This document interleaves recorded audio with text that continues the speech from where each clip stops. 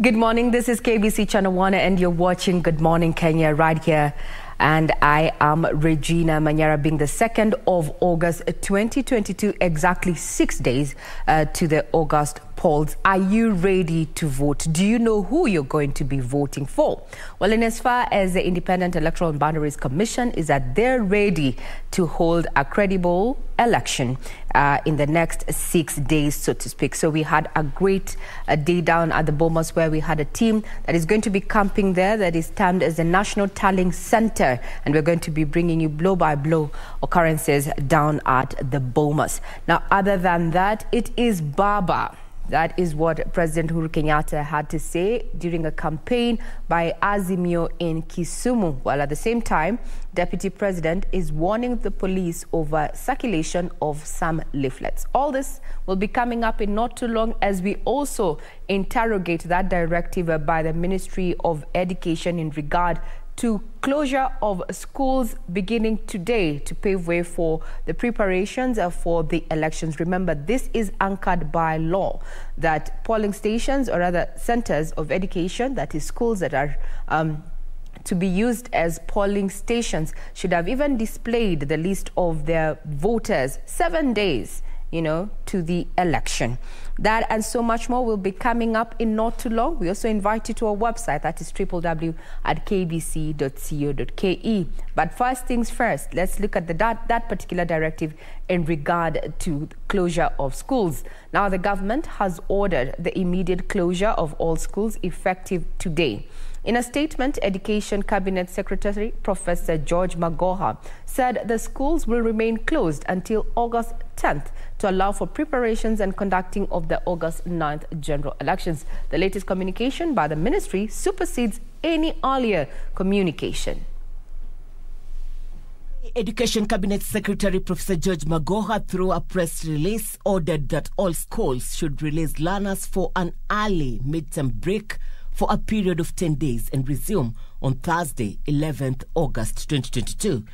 The press briefing read in part in the quote Schools and parents are advised to ensure that learners from all basic education institutions proceed on their final half term effective Tuesday, August 2nd, and resume Thursday, August 11th, 2022. End of quote. The CS said the government's decision on the immediate closure of all basic learning institutions with effect from Tuesday, 2nd August 2022 until Wednesday, 10th August 2022 was to pave way for the general election. Magoha had earlier on indicated that the institutions will close from this Saturday, but explained that the decision to have them closed from Tuesday, August 2nd was informed by further consultations.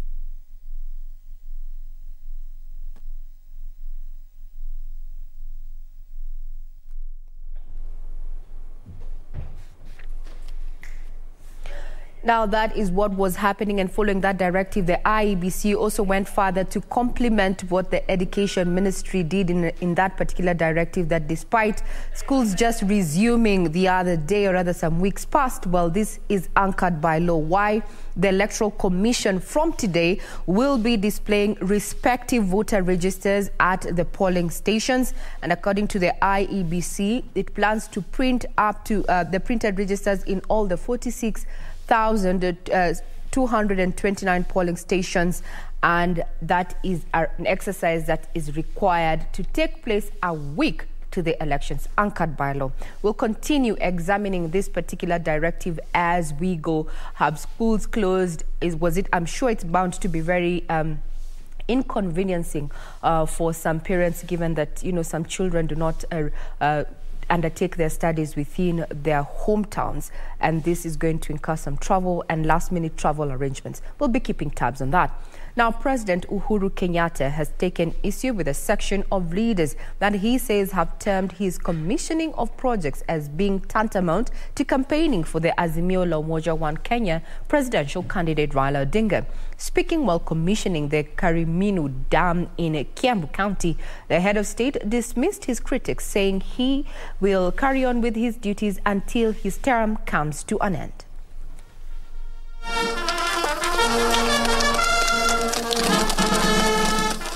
President Uhuru Kenyatta on Monday commissioned the Kariminu Dam in Kiambu County. It is here that he faulted politicians for poking holes in some of his development projects. Lakini mimi naamini vile tulifundishwa na wazee wetu, mtu anafanya kazi mpaka dakika ya mwi ama inaendaje? Unafanya kazi mpaka dakika ya mwisho, sio hakuna mambo ya kusema ati hakuna kazi. Sasa tumetimiza, na sasa kwa sababu hakuna kazi mpya tunaweza kuanza, si tuanze kufungua zile tume, tumemaliza. The head of state said he has a duty to ensure Kenyans appreciate the work of his administration. According to the president, the Karimino Dam will go a long way in boosting agriculture in the region and solve the water scarcity menace.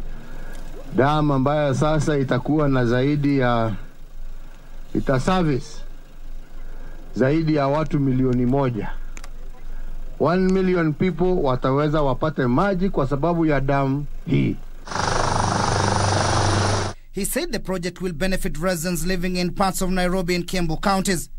Na kwa sababu project imekuwa successful, tunataka tuipanue na itapanuka kidogo, tuweze kupatia mpaka watu ya Thika pia waweze wapate maji kutoka sehemu hii, si ndio? Na hiyo ni mambo ya kurahisisha maisha ya wananchi.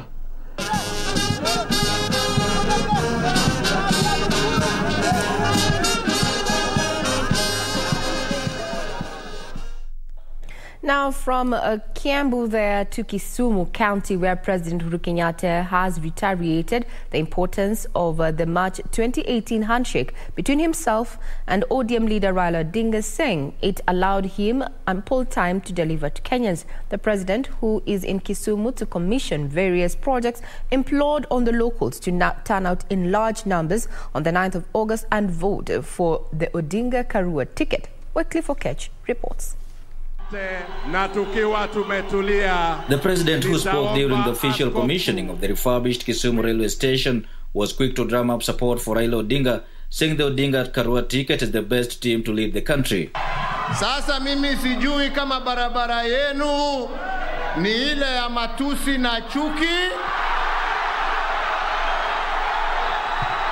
ama ni ile ya maendeleo ama ni ile ya maendeleo. Basi kama ni ile ya maendeleo na haki, ni gari moja peke yake inatupeleka upande huo. The president, who is in Kisumu to commission various projects, among them the newly constructed shipyard and the flotation of the MV Uhuru 2 ship, warned the locals that Odinga risked losing the presidential seat if they failed to vote to the last man. Nyinyi nyinyi mnajitokeza kwa nguvu kusema ndio, lakini sasa njia, njia ya kuhakikisha ya kwamba hiyo gari imeingia State House sio tu na mdomo, njia kwa sababu nasikia nyinyi mnakubali kwa mdomo, siku ikifika mtu anasema wacha niende nikatafute samaki, mwingine anasema wacha kwanza niangalie kama bibi yako sawa, mwingine anasema wacha niingie hii baa nipige chupa mbili, ni public holiday, nitaenda huko baadaye eh? Hiyo ndiyo shida jameni. Lakini kama munaamini yale mnasema, tarehe tisa hii Kisumu town hakuna mtu wa kuongea na mwenzake bila kuonesha kidole na kuonesha rangi. The head of state revisited the March 2018 handshake between himself and the Azimio flag bearer, urging the locals to choose peace over political rhetoric. Kwa sababu hata kama nimekuja kuwaaga na kuja kuwaaga nikiwaambia ya kwamba hii weza kufanya pamoja nanyi, tumeweza kufanya kwa sababu ya ile amani ambayo tumekuwa naye katika taifa letu la Kenya, na hiyo amani ndiyo tunataka iendelee katika nchi yetu ya Kenya. Now, still on politics, Azimio la Umoja presidential candidate Raila Odinga was on Monday back to Mount Kenya region in a final lap search for votes. Raila, who spoke in a series of campaigns, called for the support of the Raila Karua ticket, saying if elected, his administration can be trusted to bring meaningful development in the country. The duo once again reiterated that they would deal firmly with corruption. Seven days to the 9th of August Paul and the Azimio la Umoja brigade are leaving nothing to chance as they seek to consolidate their support ahead of the 9th of August elections. The alliance would hold long day campaigns in the Mount Kenya region, starting in Kirinyaga County, where they reiterated that they have the solution to what is ailing the country and call upon the residents to support them. Hii uchaguzi ilikuwa kama ile 1963 na 202. Ile ingine ilileta uhuru, hii ya pili ilizaa katiba mpya. Hii ya tatu ni sasa ya ukombozi ya uchumi ya Wakenya. During their campaigns in Kirinyaga, the duo also launched Rauka Firimbi movement that will be mandated to monitor the general election across the country before and during the voting period. Wakenya wamesema punda amechoka. Punda mfanya nini? Amechoka na mzigo, sivyo? Waswahili walisema tikibebacho kikivuja na fuko mchukuzi, sio? Wakenya wanataka mzigo ipunguzwe, ama sivyo? Ama sivyo? Hamjachoka, hamjachoka, mmechoka, hamjachoka. Wangapi mmechoka? Nione mkono hapa. Ndio sababu tunasema tarehe tisa wiki ijayo tunataka Wakenya wapunguze hiyo mzigo kwa kuchagua Azimio la Umoja, baba na baba na. Hiyo ndio sababu tumerudi hapa. Hii kura unajiokoa uchumi wa nchi na uchumi wako wewe mwenyewe. Unajiokoa upate huduma nzuri ya matibabu. Unajiokoa upate masomo kwa watoto wako. The Azimio caravan would later head to Kiambu County. Here they reiterated their commitment in fighting matters corruption if given the mandate to lead the country after the August poll. During the event, the alliance also emphasized on the issue of zoning, claiming that was the only way to ensure the coalition has bagged a majority of representation in both levels of government.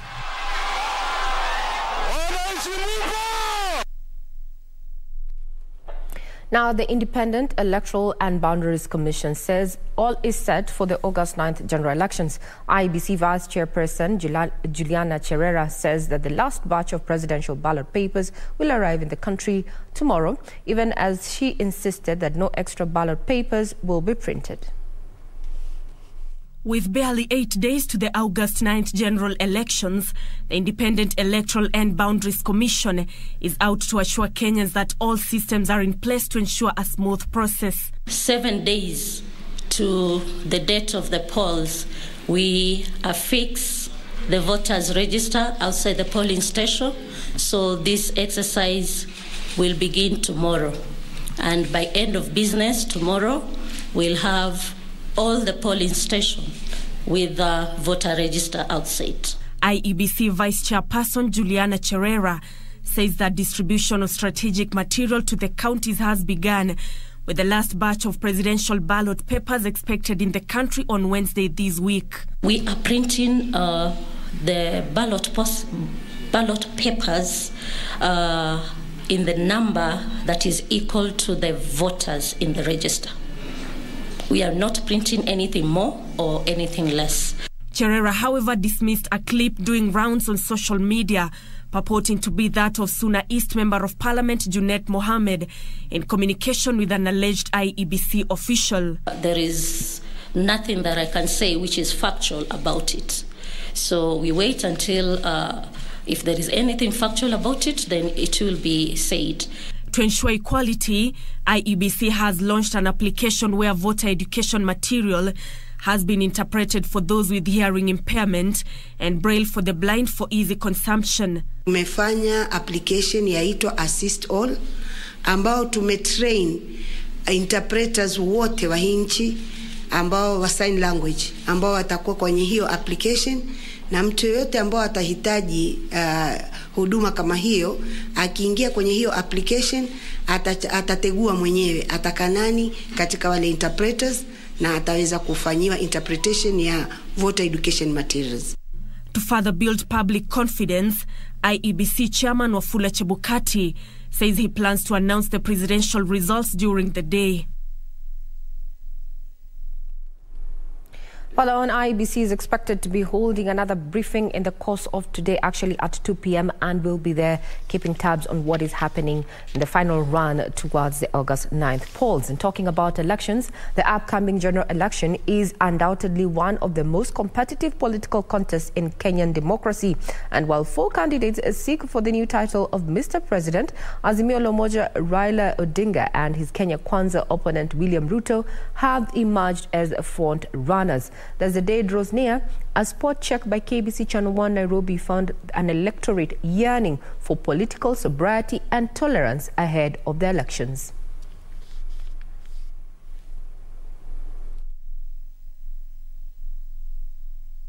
There is so much uncertainty regarding the grade six uh, students, whether they will be where they'll be hosted, is it in high schools or in primary schools? So I think that should be a priority. Even uh, when they come in, immediately they come in into office, they, before they're even sworn in, they should have that in mind. The leaders to come to us now work on the projects that they've set, and they make sure that we don't struggle. Saizi nimetoka government office, and what I've seen I've not liked. Like it should not happen like that.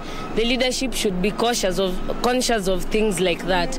So we want change. Kuna many uncertain, uh, uncertainties na like mimi ningia kampo na sijui the what in the next four years kanta para job ama nitakosa, unaona na pia in terms of sports, mimi kama mimi ni footballer mkali na pia naona sizichukua hiyo line juu naona haina hopes na pia like wajaribu ku streamline hizo sectors na tunawashukuru sana kwa sababu si ndio sisi ndio wale watu wa kesho, sisi ndio watatuachia hii nchi na wenye wana handle inatu affect uh, now uh, tomorrow and forever.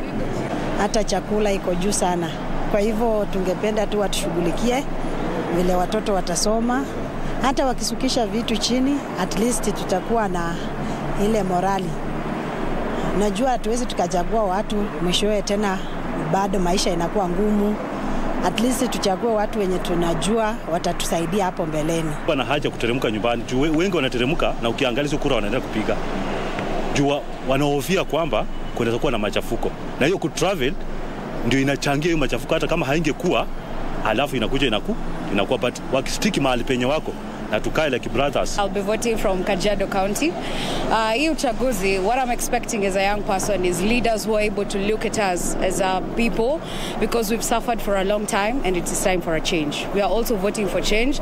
So the leaders we shall bring in, all we are asking is for peace. For those who lose, lose with integrity. For those who win, win with grace. Uh, kuhusu uchaguzi nataka amani ikue, eh, watu wakae kwa amani baada ya uchaguzi na tunaombea mwenye atachaguliwa kama rais, mbunge atengeneze nchi ikuwe na, na mafanikio mema.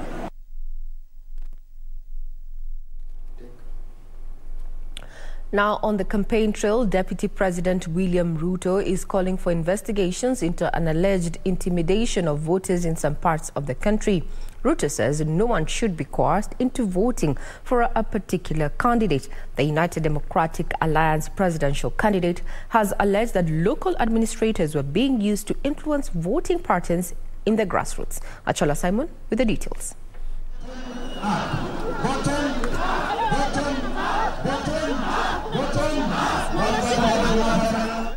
The alleged intimidation of voters in certain parts of the country to vote for particular candidates has drawn the attention of presidential contenders, with Kenya Kwanza Alliance flag bearer William Ruto seeming to concur with his opponent in Azimio, Raila Odinga, in castigating it. Ndoto watu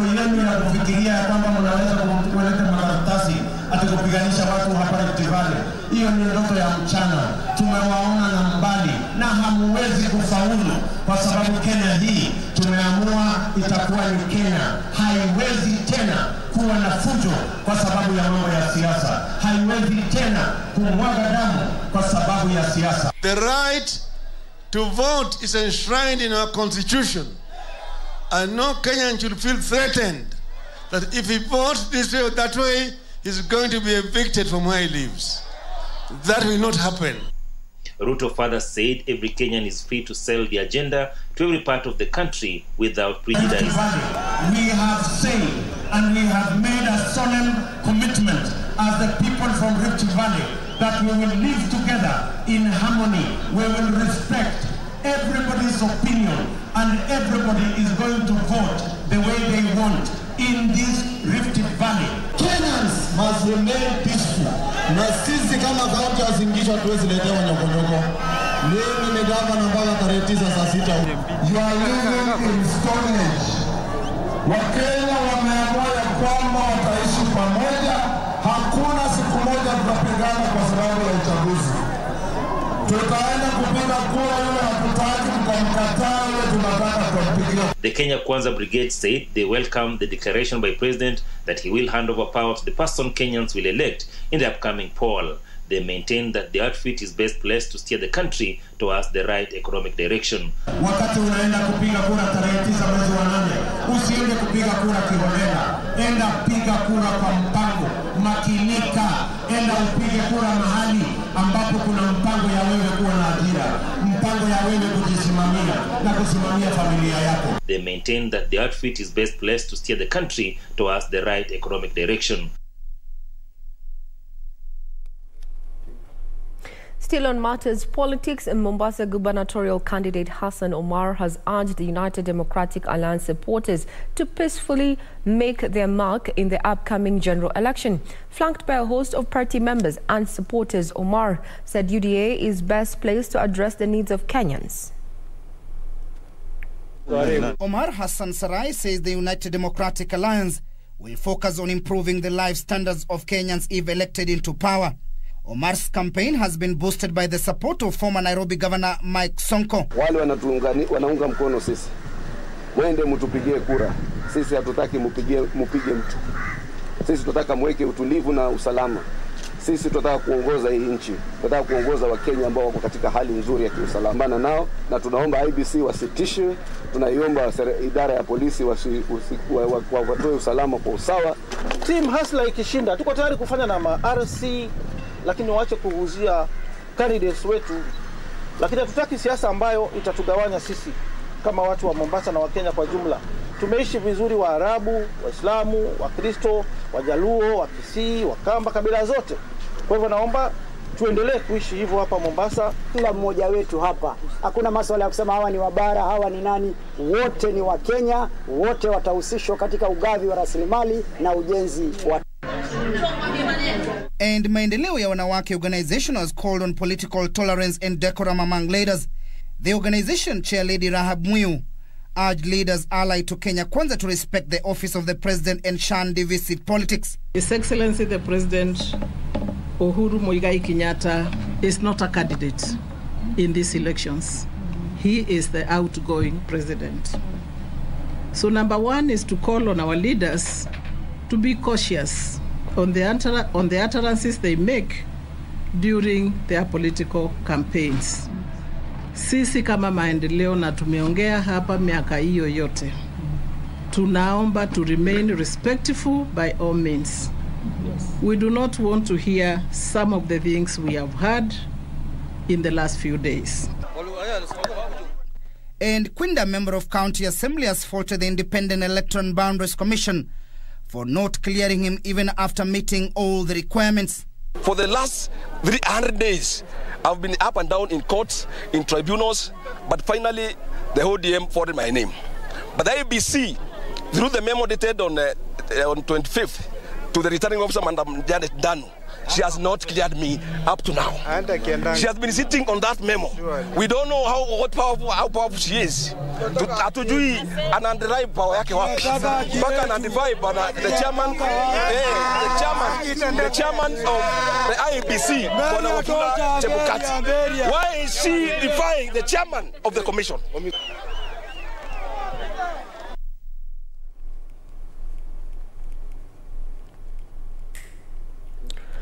Now, on to matters business, where underwriting losses in the general insurance business narrowed to five. 510 million shillings during the first three months of this year, down from a loss of 1.74 billion shillings reported during the first three months of 2021. The latest data from the Insurance Regu- Regulatory Authority indicates that the motor and private, commercial, and medical classes of insurance business reported losses of about 1.67 billion shillings during the period under review. The latest data from Insurance Regulatory Authority indicates that motor, private, and medical classes of general insurance business incurred the highest losses amounting to 1.04 billion shillings and 628.58 million shillings, respectively. This saw the underwriting losses in the general insurance business narrowed to 510 million shillings during the first three months of this year, which is more than three times lower than the loss of 1.74 billion shillings reported during a similar period last year. However, the losses were offset by the personal accident class of business that posted a profit of 712.27 million shillings. The insurance industry gross written premiums rose 11% to 888.43 billion shillings, while premiums under general insurance amounted to 53.92 billion shillings. Of this, medical and motor insurance class contributed 35.9% and 27.5% respectively, while aviation, theft, and miscellaneous classes premiums decreased by 16.1%, 11%, and 10.6% respectively. During the period, claims incurred rose 10% to 18.43 billion shillings. The highest claims were for medical services at 42%, followed by motor private at 25.5% and motor commercial at 24%. The claims paid rose 13.3% to 16.8 billion shillings. The reinsurer's business volume increased by 32.2% to 10.57 billion shillings, leading to an underwriting profit of 517.18 million shillings compared to a loss of 990.23 million shillings during a similar period a year ago.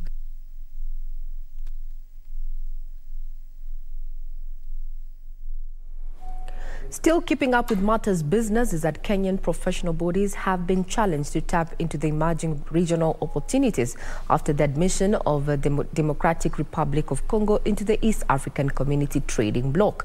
The Institute of Certified Secretaries ICS chairperson Diana Tanui says there are now new opportunities availed by the DRC and other EAC member states that professional bodies could tap into for strategic growth. The Institute of Certified Secretaries plays the strategic role of enhancing socio-economic transformation by supporting best practices and good corporate governance, especially on boards of companies. The Institute of Certified Secretaries is keen on promoting good corporate governance practices to stimulate competition, innovation, and sustainability of institutions. Speaking during ICS 27th annual dinner and award ceremony in Nairobi, Chairperson Diana Tanui challenged professional bodies to take advantage of the opportunities within the East African community to offer, among others, training. We, as an institute, have continued to promote good governance through strategic collaborations. We have entered into many memoranda of association with specific stakeholders specifically on areas of research uh, for purposes of uh, expanding the training opportunities for members. Certified secretaries contribute significantly to the overall economic development and stability and growth of a nation. Speaker said there are emerging opportunities availed by the Democratic Republic of Congo joining the EAC as well as liberalization of Ethiopian economy. As potential investors rely on the business information generated by public certified secretaries to make decisions on whether or not to invest in a particular venture. As an institute, we also continue to endeavor to ensure we help members uh, to build capacity by bringing most relevant topics and most relevant areas of concern so that then we remain relevant in the market and that we give value to the employers that we serve and the clients that we serve. Locally, the Institute of Certified Secretaries is working closely with public agencies, private sector, and county governments to share expertise in devolved units through conventions and meeting in efforts to enhance good governance. Now to Matter Sports, where the Kenya Police Football Club has kicked off preparations ahead of the new 2022-2023 Premier League season. This will be the Police FC's second consecutive season in top flight football. The team will be boosted by shifting their home matches to the newly built Police Sacco Stadium at the CID Training Center uh, in South Sea. The newly built Police Sacco Stadium will relieve costs for hiring, training, and playing venues, and also aid in developing the team's fan base. The team's head coach Sami Omolo reaffirms that his players are in good shape for the season. That stadium will, be used by the athletes, will be used with all the discipline the volleyball, the rugby. You, can, you could see we have done everything there to make sure that it takes care of our members. You, you can see we our members, we have members who are uh, uh, international champions in athletics. We have the football, we have the rugby, who are also international, the volleyball team.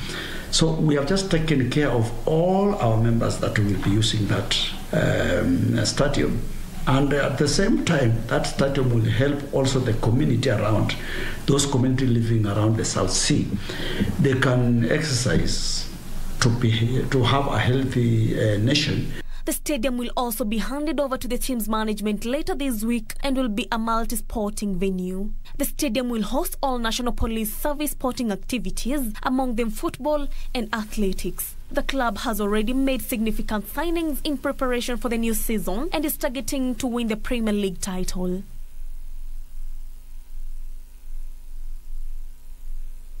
Well, that efficient, efficiently puts a cap to matters in the headlines this morning. Remember, further details are available on our website. We take a quick breather, but when we return, we're going to be looking, comparing the statistics in 2017 in as far as the last general election is concerned and 2022. So do keep it right here.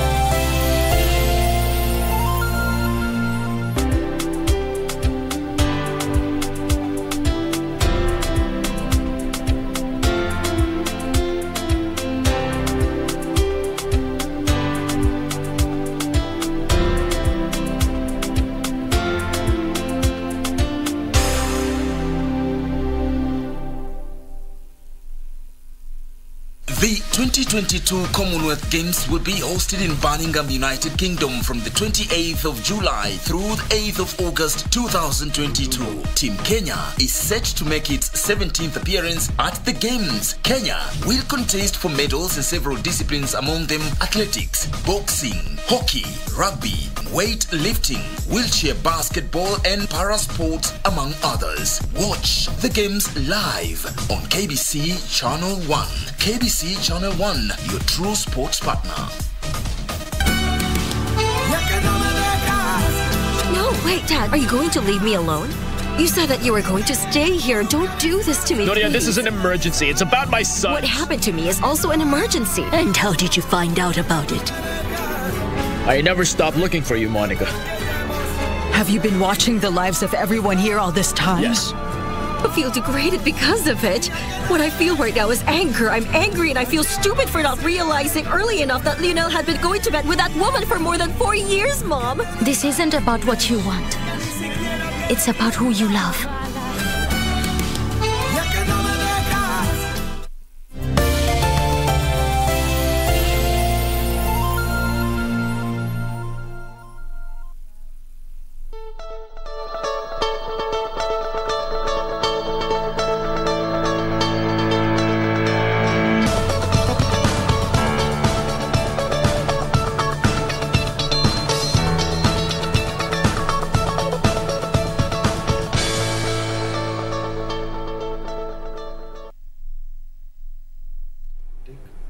Well, good morning once again. If you're tuning in, this is in the headlines right here on Good Morning Kenya with just six days to the August polls. What you're seeing on your screen are the four candidates that have been cleared to run for the top office in the ne- next uh, six days or so. On my far left, we have Raila Odinga, and whose running mate is Martha Karua. We have William Ruto, Rigathi Gachagua, George Wajakoya, uh, running mate there, Ju- Justina Wamai, and David More whose deputy uh, running mate there is Ruth Moshero Mutua. Over the last few weeks, we've been uh, going through their manifestos, what they intend to do for Kenyans if they ascend to power in the next six days. And what has come out from what analysts have said is that these manifestos have clearly been uh, entrenched in matters of economic recovery. Remember, as a country where we are, we are still reeling from the co- uh, uh, post-COVID uh, situation there, and the government, the current government that is in power, has been working on economic re- uh, recovery, but based on building back better. And we have seen this totally come out in the four manifestos, respectively. We're going to be talking about manifestos in the course of, of the next broadcast, but for now, those are the four. Raila Odinga, William Ruto, George Wajakoya, and David More eyeing the top seat come August 9th, which is just about six days away. Now, what is difference between 2022 and 2017? Five years apart, and definitely there have been changes, especially in regard to the number of Kenyans who are expected to cast their ball- ballot on August 9th. Let's just first look at what happened and the numbers that we got in 2017. There you go. So in 2017, which is the latest election before the one that we are walking to, which is just six days ago away, this is what we had. We had 19,605,895 Kenyans registered to vote actually. And the valid votes that were managed during this time, five years ago, was just 15,177,409. And the results are as is. Top there is a duo, the dynamic duo of uh, Deputy President William Ruto and Uhuru Kenyatta there, and uh, Jubilee there, garnering 54.17% of the total votes cast at 8,221,482. And coming in second and close is Raila Odinga under NASA, uh, garnering 44.94% of the total votes cast, and the number being 6,820,598 there. Last but not least, the fourth uh, in this particular race was none other than Joseph Ndega as an independent can- candidate who managed only to garner 38,018 votes, and that was zero, an equivalent of 0.25% of the full, or rather, the uh, votes cast during that particular election. If you look closely at the map, and we've been talking about strongholds and such, even in the campaign trail right now, we've been also having polls that have indicated who is likely to vote where by demographic as well as geographical placement. This is how the vote turnout was. We see the north was all red, central all the way to the coastal region. Uh, uh, lower parts uh, were red there, indicating that Uhuru Kenyatta and William Ruto drew their support from northern parts of Kenya, central as well as Rift Valley, while his main rival then, Raila Odinga, uh, managed Turkana as well as western, coming all the way to eastern. We can't see quite who voted for Joseph Ndega, but I'd want us to focus on the top two because they heavily feature on what is going to be happening in 2022. Why? It's because now Uhuru Kenyatta, who is the current president, has actually drawn all his weight behind Raila Odinga and uh, Azimio, One Kenya Alliance. And even from yesterday's pronouncements, he said, well, if for peace and prosperity, then Kenyans should vote uh, for Raila Odinga there. And going further to say, and going looking back at 20, March 2018, when the infamous handshake came into power. Just to remind you, we have four candidates set for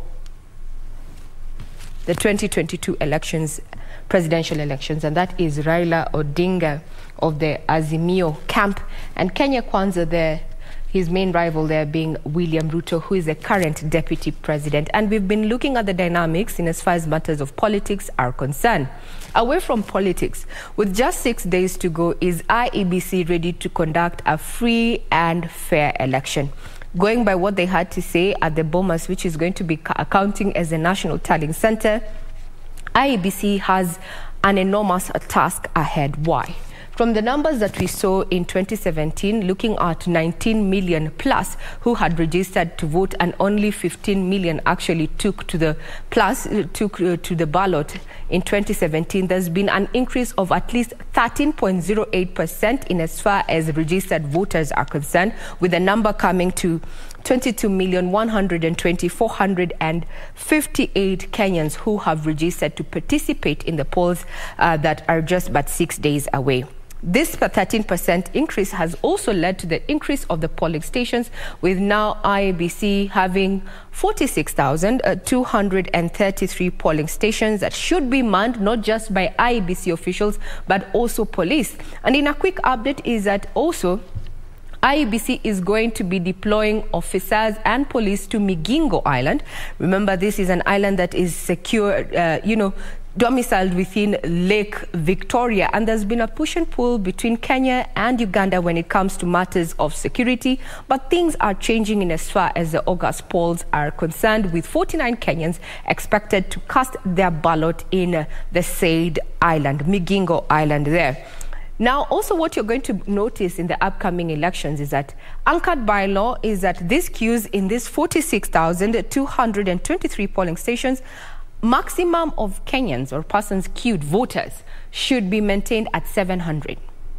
700 voters are expected to be lined up maximum per every queue and we will we are going to be having 16,100 candidates who are eyeing various elective seats across the country and IBC is also going to be taking at least uh, taking the, the, the ballots to at least 12 foreign countries to enable the over 10 10,000 uh, Kenyans who have registered to participate in the current elections from the diaspora to take part in this particular election. They will not be voting for MCAs or even uh, women rep or senator or governor. The diaspora vote is going to be primarily focused on the presidential candidates. And these are the four who have been cleared by the IEBC to take part in the presidential race that is just but six days away. And also the prison vote is only going to be for the four. I'm Regina Manyara. I live in the capable hands of uh, the rest of my team. You have been watching Good Morning Kenya. Let's see you tomorrow as we speak more updates in regard to where we are as far as Kenya decides right here on KBC Channel 1.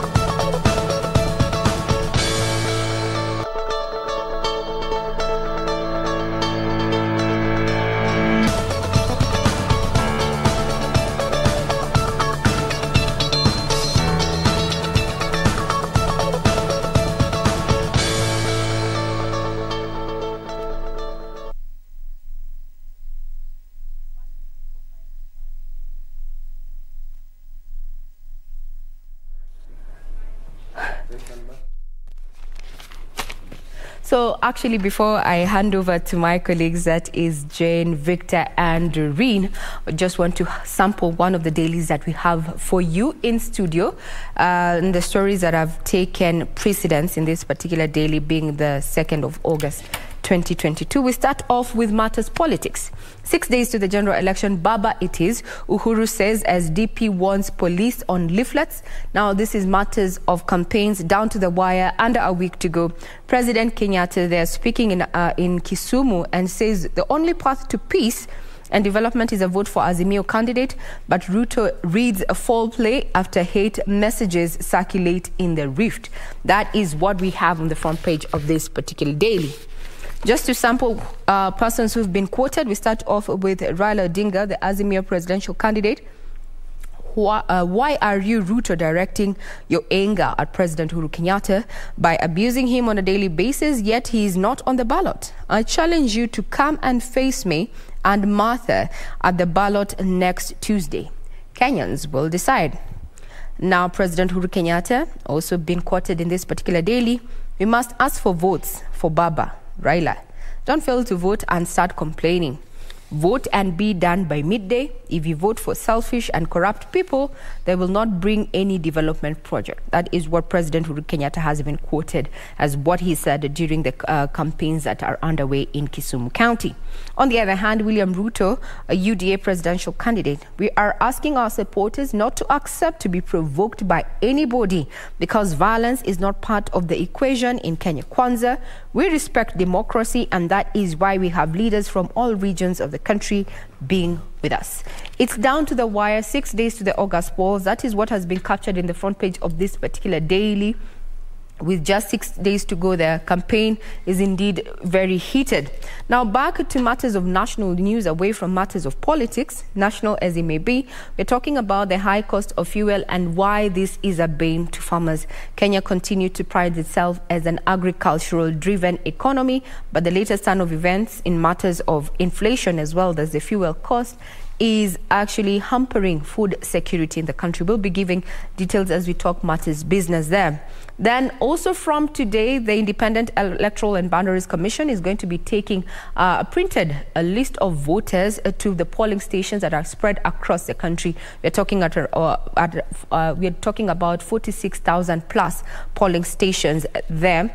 And uh, this is also comes from the announcement uh, by the Ministry of Education to, that gave a directive yesterday of school closure countrywide.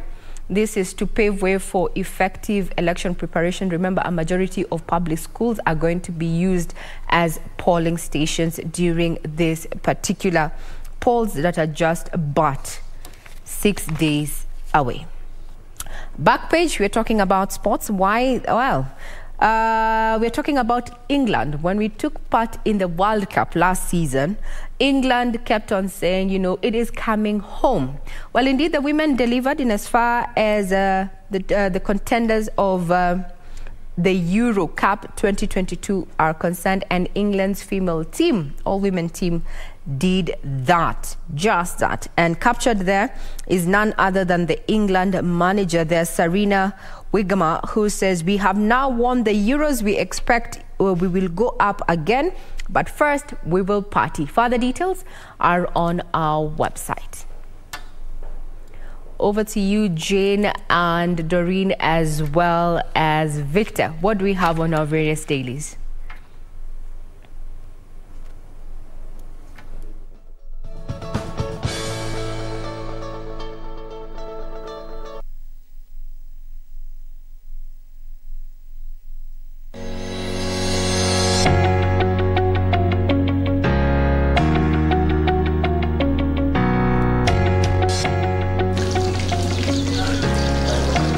This kitchen is Husna Latia's little haven where she enjoys baking and making snacks. We find her busy making orders for a party. She then briefs us on what led to the birth of Latia Baking and Snacks House. Mimi katika Majengo, nimelelewa kwa shida, nimekula chumvi nyingi, nimempoteza babangu nikiwa miaka kumi na tano nikabidi nijikaze kisabuni ili, kuji, ili kusimama nami kumsaidia mamangu na ndugu zangu wadogo zangu katika shule katika kuwahimiza kusoma na vile vile pia kuwasaidia kulipa ada zao pia za shule. Husna then walks us through the benefits she has continued to reap from her passion for baking and making of the Swahili snacks. Biashara yangu imenisaidia kufanya sehemu zangu, kulipa ada ya shule yangu na vile vile pia kujiendeleza na pia kununua vitu vyangu mwenyewe vya kutumia. Being a young girl with her potential, she has become a role model to most of her peers in Majengo area Mvita constituency who have on several occasions asked her to teach them the skill.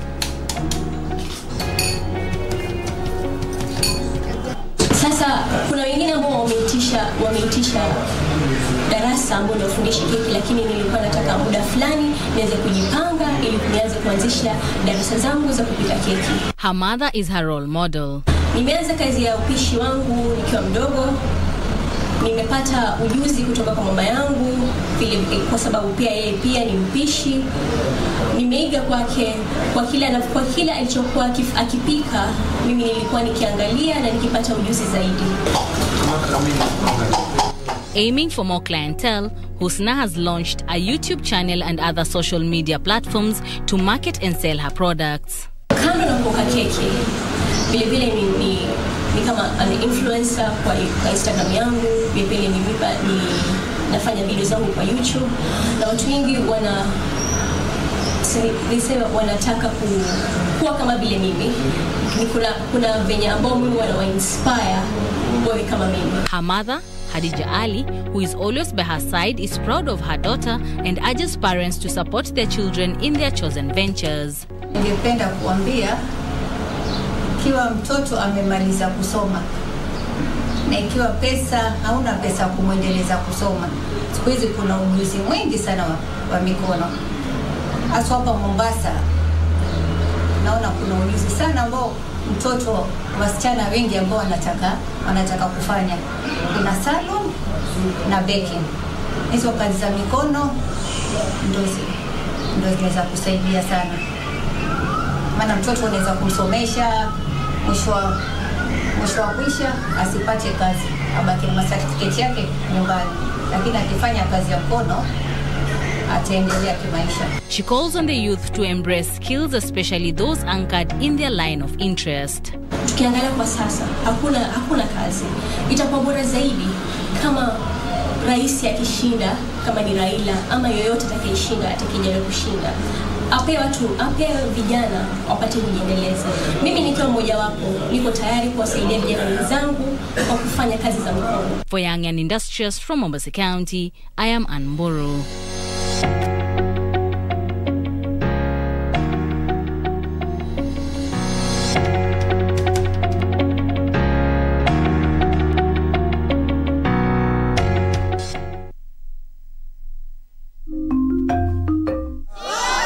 The Ogiek of Mau are spread across six counties that include Nakuru, Narok, Uasin Gishu, Nandi, Kericho, and Baringo, and as such we journeyed to Nakuru County.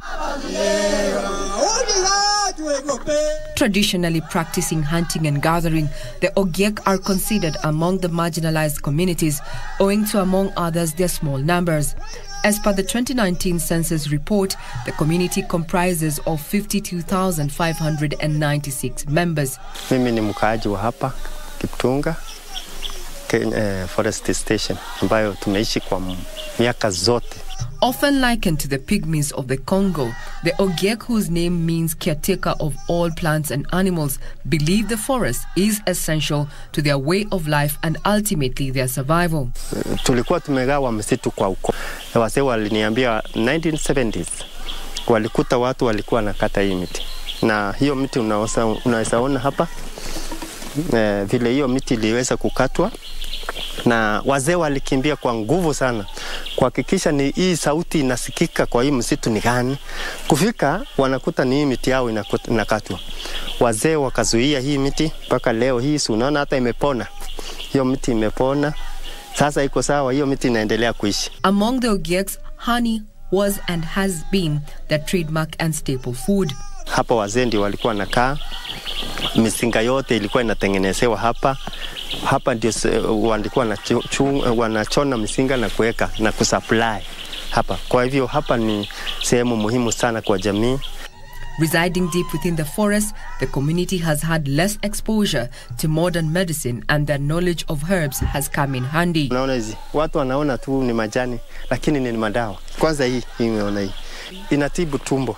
Hii ndio ya ku hii, unatoa mizizi ya ndani unang'oa, una unatafuna tu na kukumeza tu mate yake, hiyo maji yake. The Ogiek believe the sun, Tororet was a deity and often offered sacrifices when faced with calamities such as drought. Ukiogele asista ribote na kila betut ekosikoni en sing'oi neribwe logo koribwe tukia koribwe bikto. Nilikuwa naombea nchi kwa jumla, hata hizi maneno ya siasa ah, na kuombea hata watoto wetu akiwa kwa shule wapate kusikiza walimu, hata kila kitu, hata ng'ombe zetu, hata maneno ya kiangazi.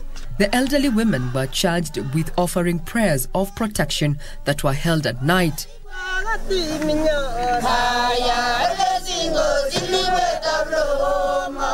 In this community, unlike their neighbors, the larger Kalenjin communities who offered blood sacrifices, the Ogiek used honey mixed with water for their religious ceremonies.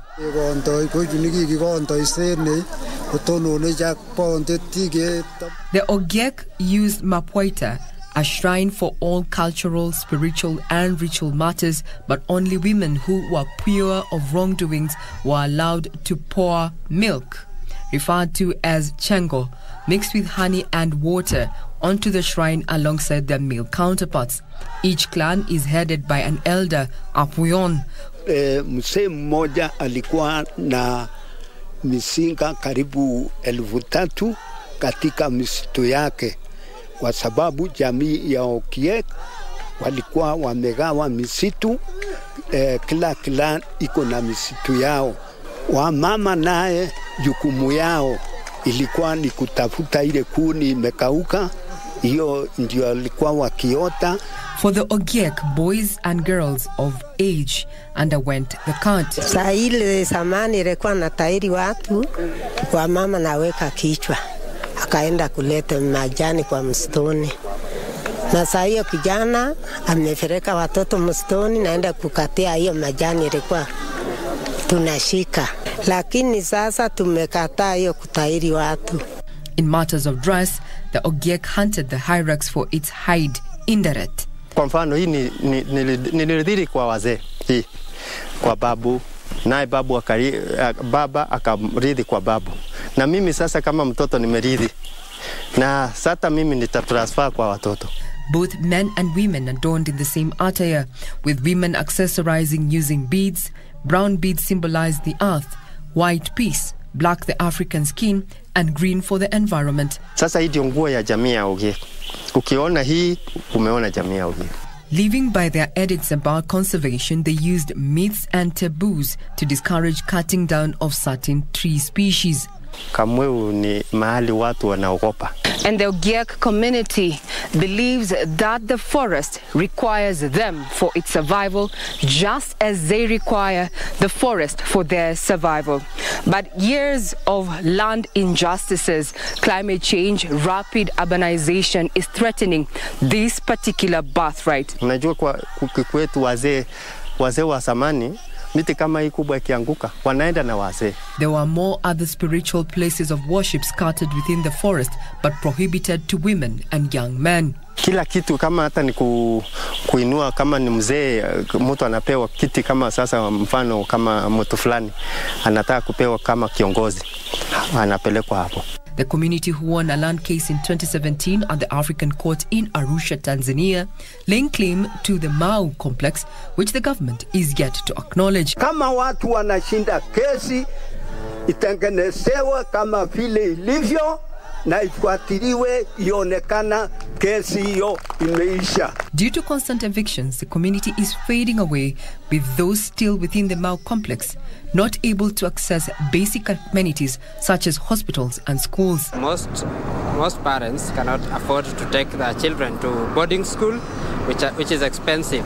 So you find uh, that Ogiek children stay up to up to the age of 10 or 8 before joining nursery school or early education. The Ogiek, caretaker of all plants and animals, can only hope for inclusivity and policy making to safeguard this tradition and culture. Regina Manyara reporting for My Culture.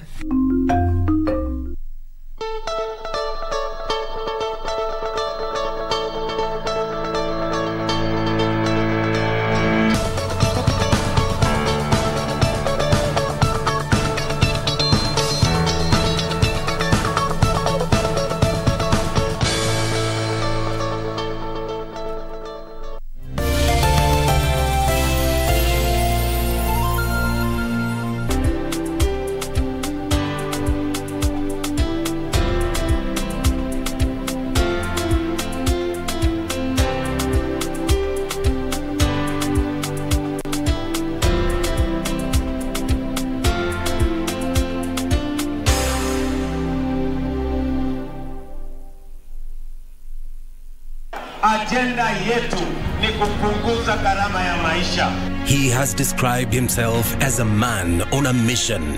I am a man on a mission. I have no space to retreat, and I don't have the luxury to surrender.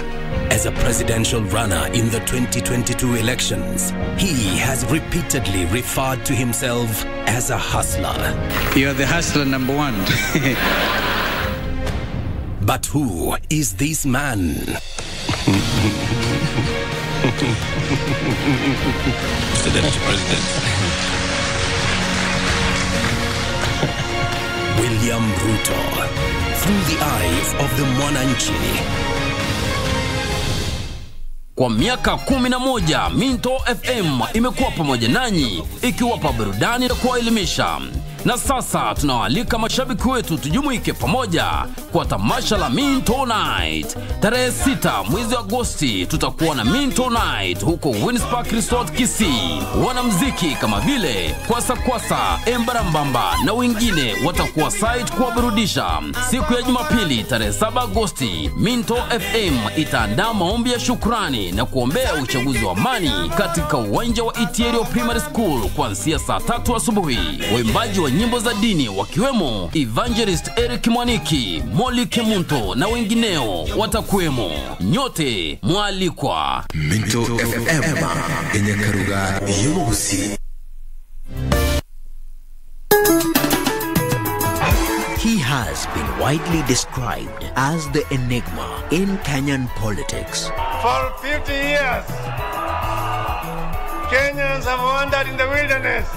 His critics are as eloquent as his supporters are in their praise. when it was in the interest of the country that it was important for him to work with KANU for the benefit of the country, he did that.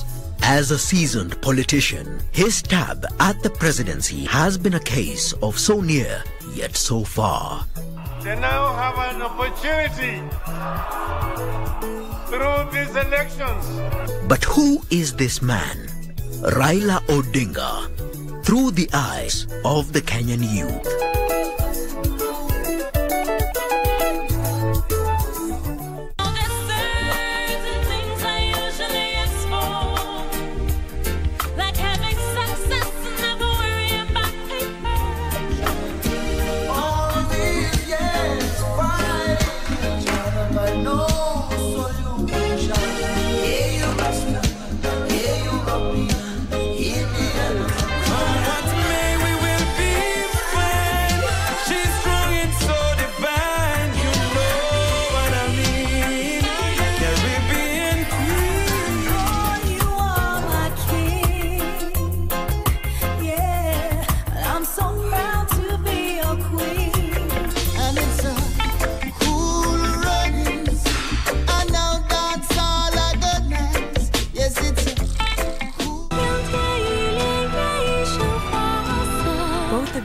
Are going to have a baby soon.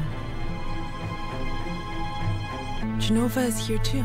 The king won't do anything to you.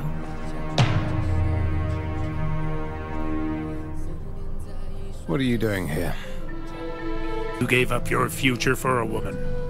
You've disappointed me.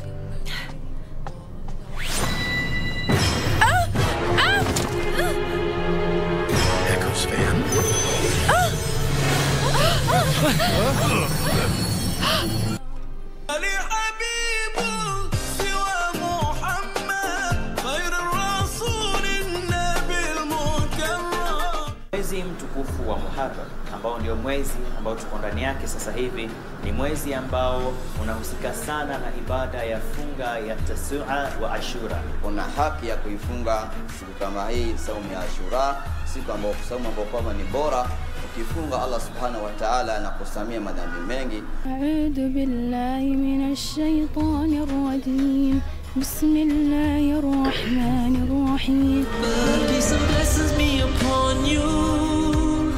Ya Sayyidi ya Rasul. Feel so lost without you.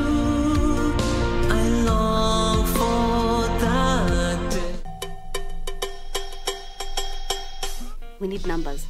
And I'm sure dad is not supposed to find out about this. No, no, no, no, not in this life. How would you like coming to work here at Genji? Is Kathy in agreement with all of this? I'm not answerable to her. Why don't you want the same thing as your mother? How do I trust you? I'll help you, the board members. How? I'll call them one by one. I may want to hire your cousin. wewe nakutambua Eh, Baadaye. juu umepataka ka- hiyo kazi utanipatia 20 parasenti Kio hii usisemage mimi huwa sikujegi. wewe usifanye nikuwe tena wewe mimi umepataka nikitaka kutoka ni sherehe kazi Masibi hii. Alafu utaniachia mlango, mimi nitafunga after meeting.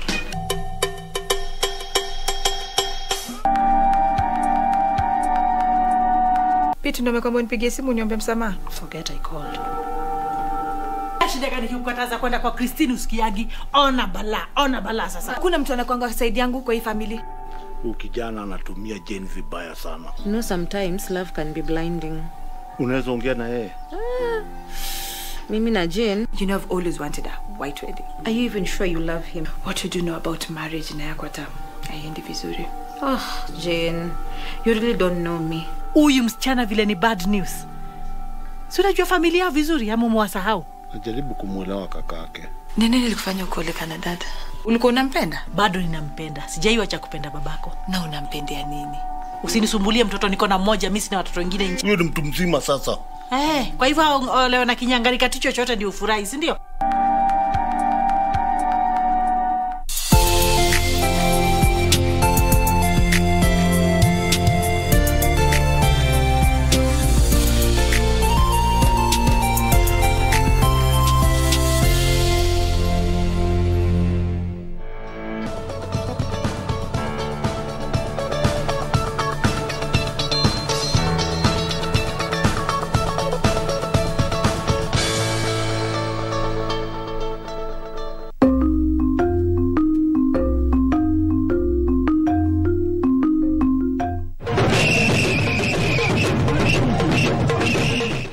Luandeti village in Malava, Western Kenya, residents throng these homestead to mourn one of their own, the late Mzee Malaha Chinjeni of Venue Subclan. The body, which was being preserved at the Kakamega Referral Hospital mortuary, has been moved into the deceased's homestead. Dini Amsambo is presiding over the interment. Watu waruti kwa mila yao na waendelee na tini ya Mwafrika ambayo itaruhusu ukipatishwa unapatishwa. Tumemsika kulingana na mila na desturi ya ukoo wao.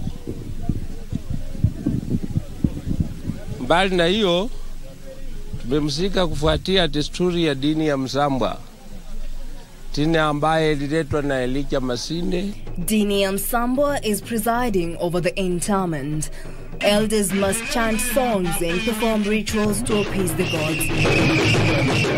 Before the body arrives in the homestead, a grass thatched hut is erected.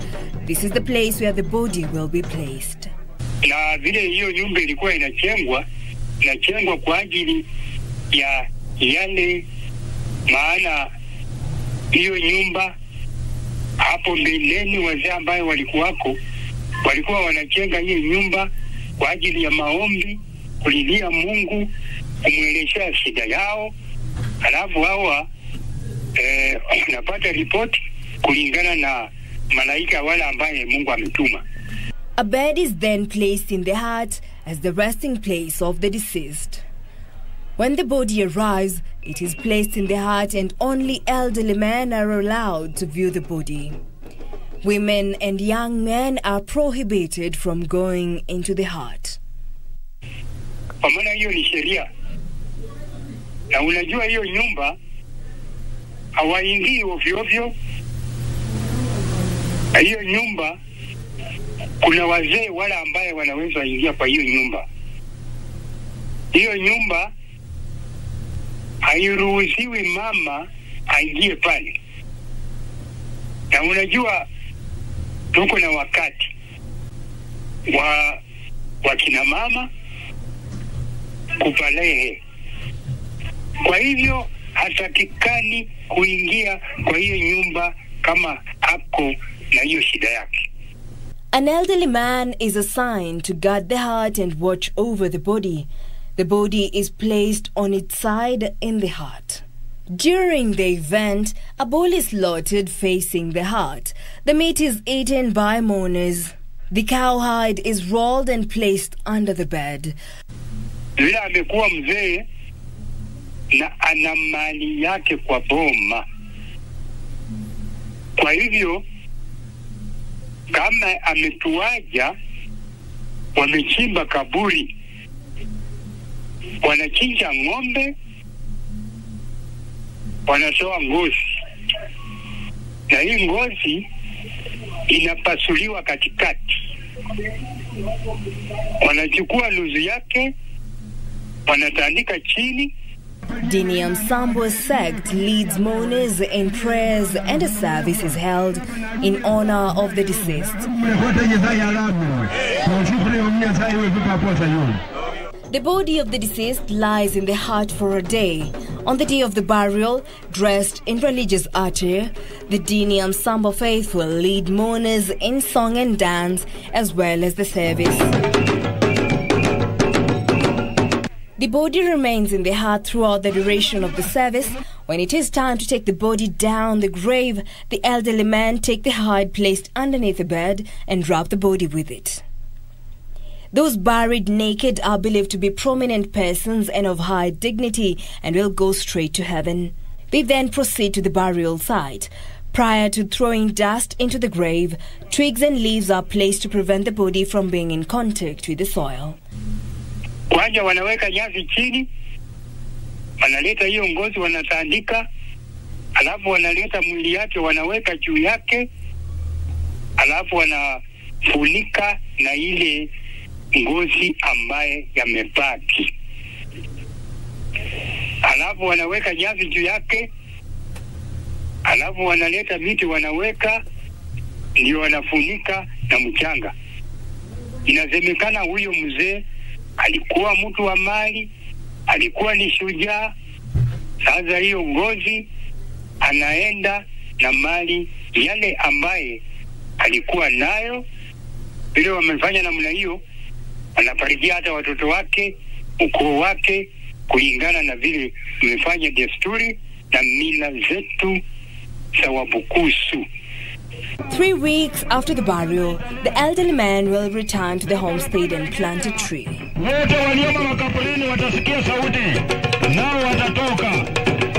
Sio naenda mbinguni,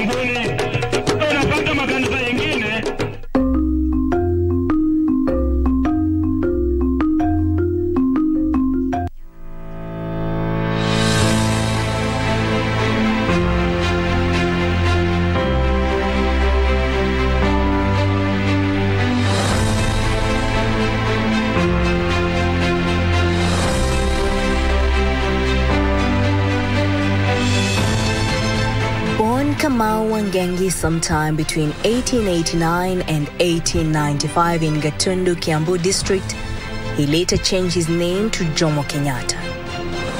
Thanks to his good command of English, he became the secretary of Kikuyu Central Association in 1924. In 1947, Kenyatta took over the presidency of Kenya African Union after James Gishuru stepped down in his favor. In October 1952, Kenyatta, alongside five cow leaders Bildad Kagia, Fred Kubai, Paul Ngei, Acheng Oneko, and Kongo Karumba, was detained in Kapengure and charged with involvement in the Mau Mau uprising. My leadership has not been to darkness and, and, and, and death, but to light and prosperity. On 8 April 1953, Kenyatta and the rest of the Kapenguria Six were sentenced to seven years in prison. Kenyatta was elected in absentia as the president of Kenya African National Union, KANU. KANU won the January 1961 elections but declined to form a government until Kenyatta was released. Upon Kenyatta's release in August 1961, James Gishuru stepped down for him as the president of KANU. Harambee! Na mashamba yetu harambee! Na mifugo yetu harambee! Na serikali yetu tukufu harambee! He also joined the LegCo as the member of Fort Hall Moranga constituency after Karaoke Njiri stepped down for him. In 1962, Kenyatta attended the Second Lancaster House Conference in London to discuss constitutional amendments. What we have been struggling for is to redeem our country from the yoke of colonialism and imperialism and to be able to build a Kenya that Africans can be proud of. On 1st June 1963, Kenya attained internal self-government Madaraka and Kenyatta became the prime minister.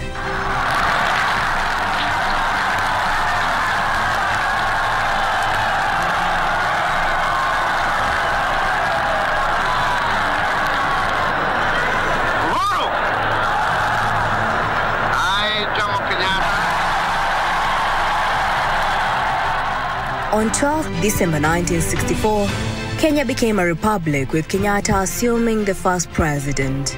In 1964, KADU and the African People's Party joined KANU through the efforts of Kenyatta. Kenyatta's motto was Uhuru Nakazi, independence and hard work, and his clarion call was against poverty, ignorance, and diseases. In 1977, the aging Kenyatta suffered a mild heart attack, and on 22nd August 1978, he died peacefully in his sleep in Mombasa. Mzee Jomo Kenyatta remains were interred at a mausoleum at Parliament Building, Nairobi. Jackie Wambiru, The Cabinet.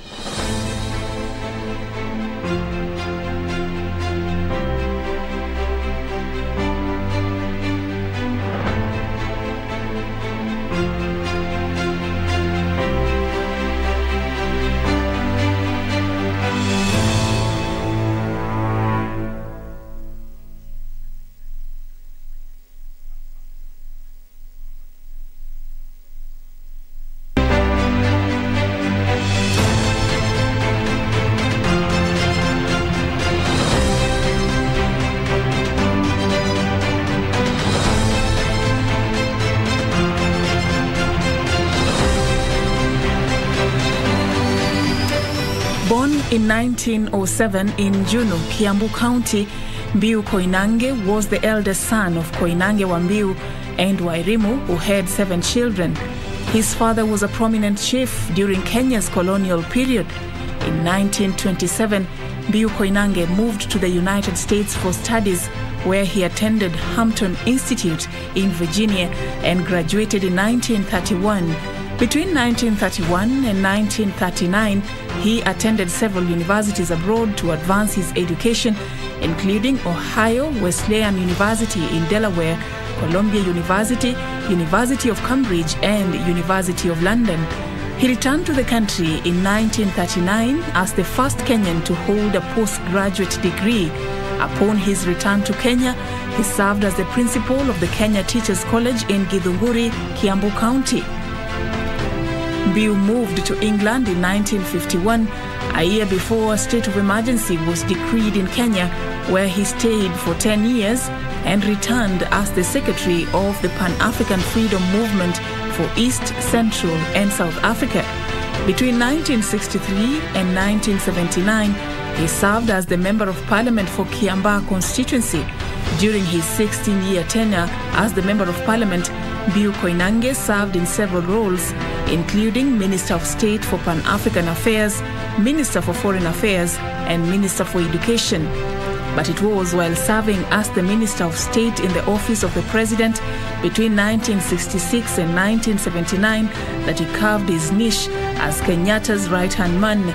He enjoyed unparalleled access to Kenyatta as his bosom friend, in law, and confidant. Koinange lost the Kiambaa seat to Njenga Karume in 1979. Biu Koinange died in 1981 at the age of 74.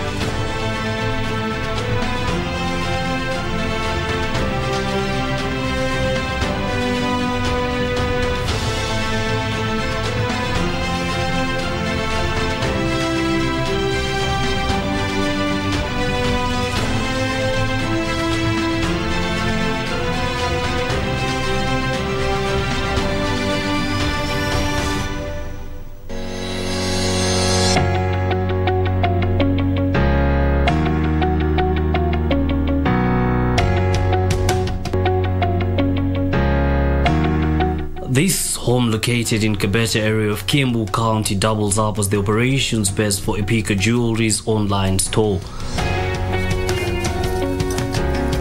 We find the business's founder Sharon Wenda and her production assistant Fiona Atieno here working on one of their orders. She then briefs us on what led to the birth of Epika Jewelry. As I was figuring out what I want to do with my life, I have a I had a friend who told me like there's this project called Kenya Youth Empowerment Project where like they're training young people on entrepreneurship, financial, this financial management. It was a one year program. So I applied, I got in. So it was just mainly talking about business, employment. And then after the program, you get like an internship, like a three month internship. So it was a three month internship.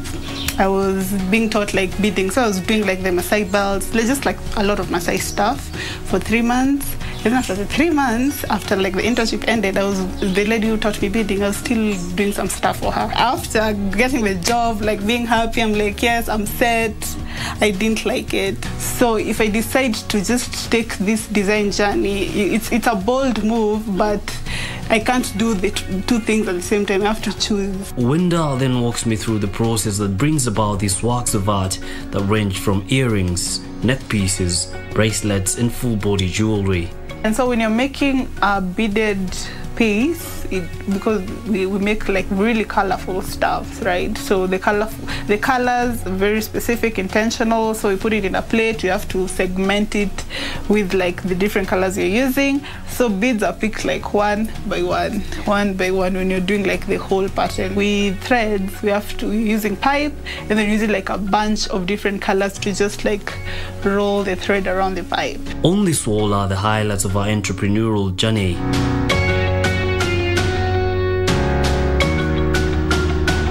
Different pieces that she has made and showcased in different stages. That's why it's in the center. Vogue. The crowning. Vogue Italy. Sharon says every day is a learning opportunity in this venture, even as she wades through the business with the various challenges it comes with. If it's a new design, like you're making something really new, there, there are moments of frustrations because when, when you've done something on a sketch and then when you're making it, it doesn't come out as you thought, there's a bit of frustrations when you're making something completely new. When it's a small brand, you have to do a lot on your own. Like you have to do a lot. You're like you're doing, you're splitting yourself in like five different directions. Aiming at client satisfaction is the ultimate goal for Epika Jewelry.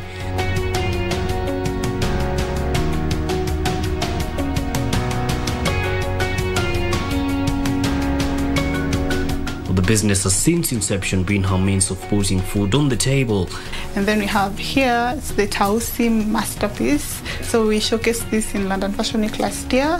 And since joining, her production assistant has benefited from the training and is also now financially stable. Within the last two years, I've been doing a lot of entrepreneurship programs just to basically improve my business skills because I'm still small and I'm growing. I've helped my family and because it's it's been consistent.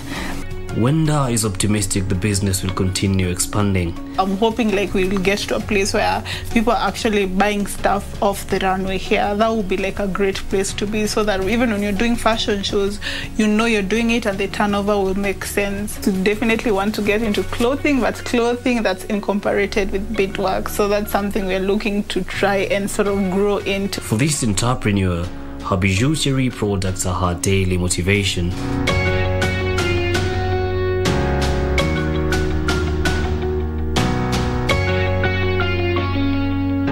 The entrepreneurial journey that started in 2015 is now a means to make ends meet for the founder who hopes to set up a physical shop in the future as she continues to adorn people with an African touch, one ornament at a time.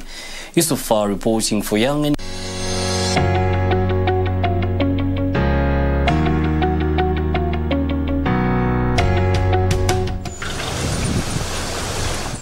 Matavia area, Kiambu County. This is the home of the Cheer Up community based organization. The organization's operations manager welcomes us, and after brief introductions, we are briefed on the organization's history. Uh, so Cheer Up started as a feeding program for orphans and vulnerable children. So initially, guys would give donations, and then uh, kids would be supported in various ways. In 2004, it was registered as a self-help group and it continued its operations. 2013, it was registered as a CBU with the Ministry of Gender. Cheer Up Enterprises kicked off in 2013 with drying of vegetables during the peak season and their retail during the dry season. The organization, comprising youthful membership, used to source excessive veggies from farmers before drying and milling them to sell later.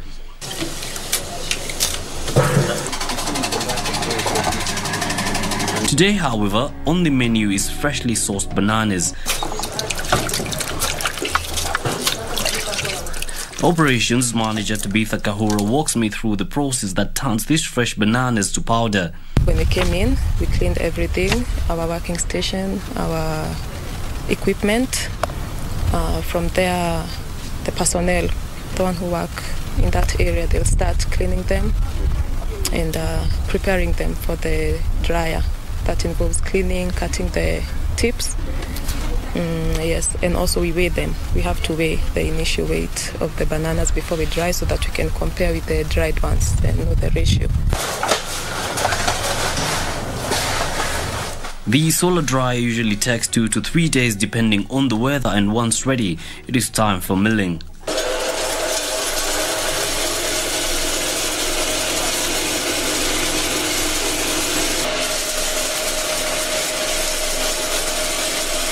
The banana, now in powder form, is then sieved to have a smooth product before it is then packed and ready for sale.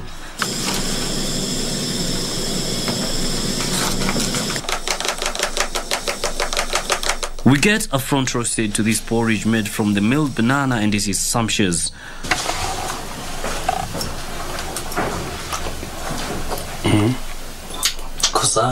This isn't, however, the only product that Cheer Up Enterprises has. Tumekuwa tukidry vitu kama bananas, pumpkin na carrot, hata na vegetables kama sukuma wiki, managu na terere tumekuwa tukikausha. We are more on that side now, on the powders. Because yes, you can also turn sukuma wiki and spinach and everything into flour, but it does not have as many uses. The business incurs an operation cost of between 80 to 100,000 shillings a month. Sales range between 180 to 200,000 shillings, translating to monthly profits of up to 90,000 shillings. Thanks to the business, members are now able to reap the fruits of their labor and even employ other young people to get experience and make a few coins for themselves. Nimeweza kujimudu kimaisha vizuri na ninaona nina uh, meeting my bills na hiki, na hiki kikundi. Na save kidogo ili hata mi juu nataka hata mimi kunini kuweka kazi yangu. Pia nanunua chakula juu si lent na alipia mtoto school fees eh, na nimegain a lot of experience na pia skills In 2017, the organization obtained a 250,000 shilling loan from the Youth Enterprise Development Fund that has assisted in the procurement of equipment for the business. The organization now hopes to secure another loan to expand the business and at the same time maintain their goal that has now shifted focus, targeting families affected by HIV and AIDS. We hope to open a shop where you can find our products anytime, any day. We hope to expand our production. One of our main challenges is that we sometimes cannot meet the demand for the products because of the capacity. Our dry is not so big, uh, so we can only produce as much. Uh, we hope we can get our own land to set up larger, more efficient solar dryers uh, and transfer our entire operation to a permanent location. na tunaona tukienda mbali tuwe na a big factory na ili tuandike watu wengi na tungependa sana ili tuweze kusaidia our community. Every business comes with its own fair share of challenges, but with the correct mindset and resilience, the challenges are easier to overcome. Going forward, for the chair of CBO, one thing is for certain for them. The only way from here is up. Yusufar reporting for KBC Features from Matade Village, Larry Sub County, Kiambu County.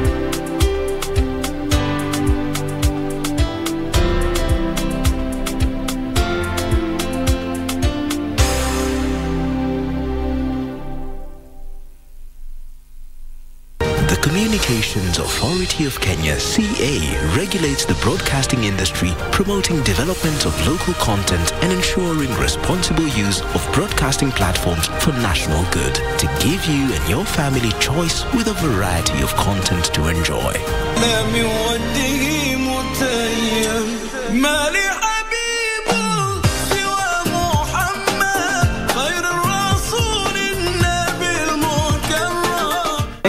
Mtukufu wa Muharram ambao ndio mwezi ambao tuko ndani yake sasa hivi ni mwezi ambao unahusika sana na ibada ya funga ya Tasua wa Ashura. una haki ya kuifunga siku kama hii saumu ya Ashura, siku ambayo saumu ambayo kwamba ni bora.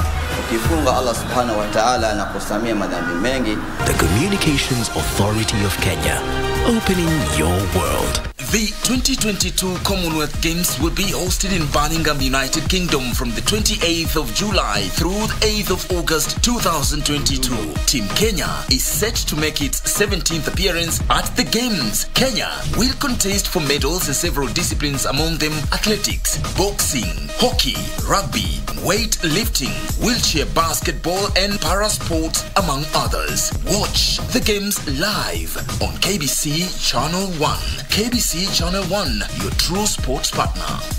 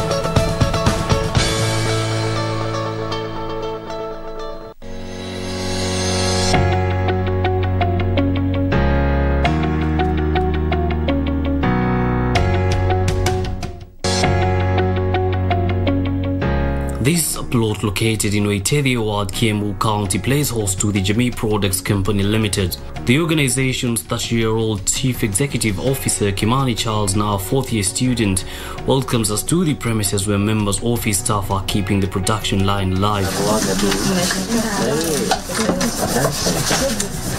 This is not where the factory started. Kimani walks us down the memory lane to when the business idea struck his mind. The year 2018 January 83 that's how I started the business that's when I started the business. And because I couldn't have the capital I happened to borrow the Kenya shilling 1600 from Mshwari but because that's where I could just lend the money. So after I got the, the loan I was trying to figure out what can I produce. I, I, nikanunua makatasi waste actually to waste. You see these bills za, za unga za hiyo ya, hiyo ya dani hiyo.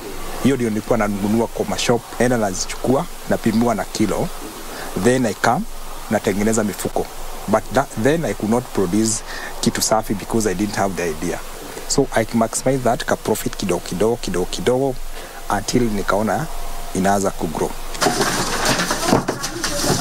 This factory that now comprises four room spaces started operations in a single room. The CEO walks me through what happens once the khaki raw material that is locally sourced gets to the office. we have the raw material we cut it according to the pieces that we need. The pieces are also the product that we need to produce. Then from there we take it to the production department. They fold it. They after folding they package it. They also brand. They also divide themselves. The business has 14 members of staff. The company focuses on six main products. These products are packaging bag, envelopes, gift bags, book covers, popcorn bag, and cake boxes.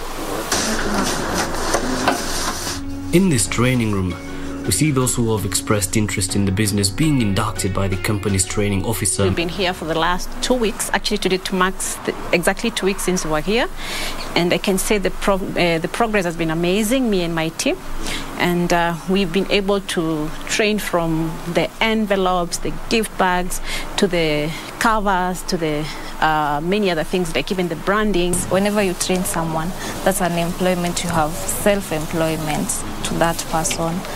Imenisaidia sana juu before nikuja hapa nilikuwa nimehangaika sana yeah. so sikuwa naweza kujilipia red nini. Vitu zingine sikuwa naweza kujifanyia but saa hii naweza penda siku moja nijipate nimefungua kampuni yangu kama hii. Sana sana lazima turudi huko nyumbani tutafute wale mayouths nini. Venye mi nilikujanga huku nikaitwa kimani akani amini ninue watu wetu huko nyumbani vijana vijana Well, the business has its own fair share of challenges. You need to make sure that everything is learning. Understand? And then you also need to make sure that uh, the staff that you are, you are the, the, the wanakutegemea you make sure that they also have the comfortability. Ukiangalia hizi product zetu haifai kuwa na maji, you know, contamination of the water. Yeah? Another thing is about the dust. Those are the two key things that you make sure that hazitaguzana nayo. Hii ni medical, this is a plain sheet ya keki boxes. Despite the challenges, the fourth year student's resilience has seen him grown to a point of opening other branches for his siblings, something that he counts as a success story. I love it. I then have that burning desire to see that we are growing. In Naivasha, we have a branch for my just for my my my young my older brothers, my sisters, four of them. I also have I have also opened a branch for my brother in Kamuru, Joska, because he is schooling there. Kimani, however, has opted to stay on the manual side of production, attributing his decision to what he terms high quality of the end product. From a 1600 shilling Mshwari loan to a now fully functional business and financial independence for the entrepreneur, Charles now hopes to own a bigger warehouse in the future and create employment for members of his community to financially empower them. Isufar reporting for Young and Industrious from Waitedi Ward, Juja Sub County, Kiambu County.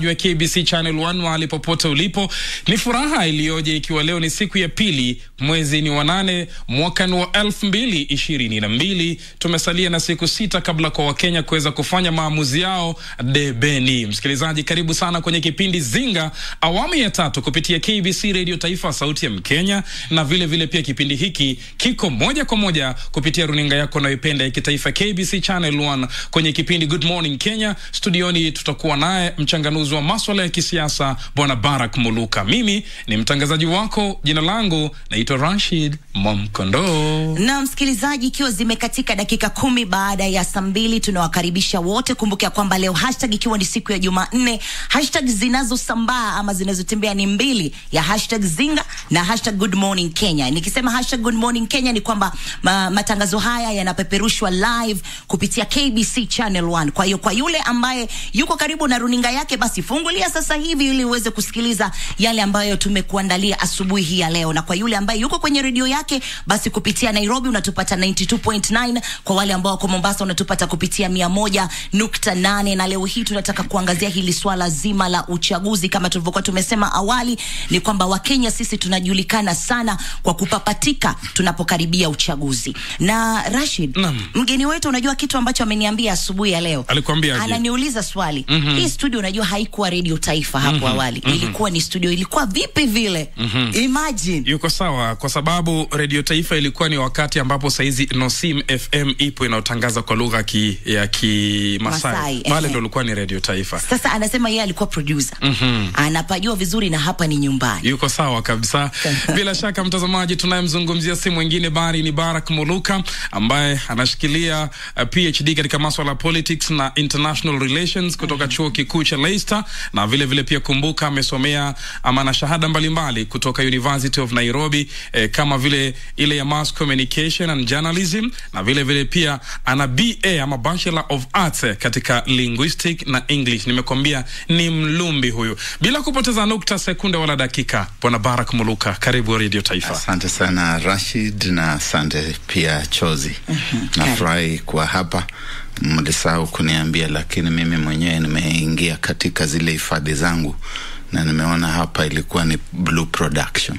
Okay. Uh, kwa hivyo kama wananisikiza huko akina Leni Mwashegwa, akina Sera Kihara, Lena Kidheka na wengineo tuliokuwa nao hapa mm -hmm. basi wanajua kwamba sasa niko hapa Blue Production mm -hmm. na wangekuja hapa wangeshangaa. Kuna mabadiliko makubwa sana, maajabu ya ulimwengu, vile alivyokuwa akisema nyakati zile Joe Baeza Kamwamto, mto maajabu makubwa. nanikumbusha mbali zama za Joba Isaac Mwamto. Sasa Blue Production imehamishwa pale ulipoingia pale nje, sasa ndio Blue Production iko pale. Eh, memory iko sawa bwana. Karibu sana, jihisi nyumbani, na sisi tunafurahi leo kuzungumza nawe. Unajua tumekuwa tuki tukikusikia tuna kukuangalia kwenye runinga, lakini leo watatu sote tuko kwenye runinga. Bas, hiyo ni mwafaka kabisa. mm -hmm. Labda tu kabla ya kuweza kusonga mbele, bwana Muluka, na kuingia kwenye siasa, hii hatua ya waziri wa elimu ghafla bin vu kutamatisha kalenda jana leo, unaichukuliaje? Wazazi wanateta sana, wanasema kwamba ni ghafla. Eh, Kwanza ni ghafla kwa sababu ya gharama zinazohusika. Uh, watoto wamerudi shuleni hivi majuzi tu na kuna gharama ambazo zimetumika kuweza kuwapeleka huko, na pia baada ya muda mfupi tu tutasikia tena wanastahili wawe wakirudi. E, pia ni gharama. Kuna vile ambavyo mzazi hujipanga, hata mwingine akapanga kwamba watoto watakapokuwa wameondoka, labda naye pia ameondoka. Wanaporudi pale, kunakuwa na shida, changamoto za malezi na vitu vinginevyo. Lakini suala nyeti zaidi ya hayo ni kwamba inaelekea kwamba uchaguzi unatutatanisha.